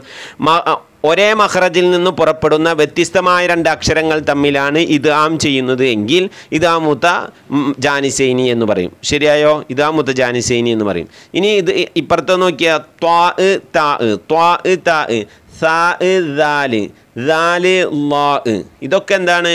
ഒരേ മഹ്റജിൽ നിന്ന് പുറപ്പെടുന്ന അക്ഷരങ്ങളാണ്. ദാലും താവും ഒക്കെ മുത്തജാനിസൈനിക്ക് ഉദാഹരണമാണ് കേട്ടോ ഇനി ലാമ് റാ ലാമ് പുറപ്പെടുന്നത് നാവിന്റെ അരുവിൽ നിന്നാണ്. ബർ റബ്ബുക്ക് എന്നുള്ള അടിയിലുള്ള ചെറിയൊരു പെട്ടികോളം നോക്കിയാൽ പാടത്തിന്റെ സെന്ററിലുള്ള ലാമ് നാവിന്റെ ലാമ് ലാമ് നാവിന്റെ തുമ്പ് റാ അല്ലേ?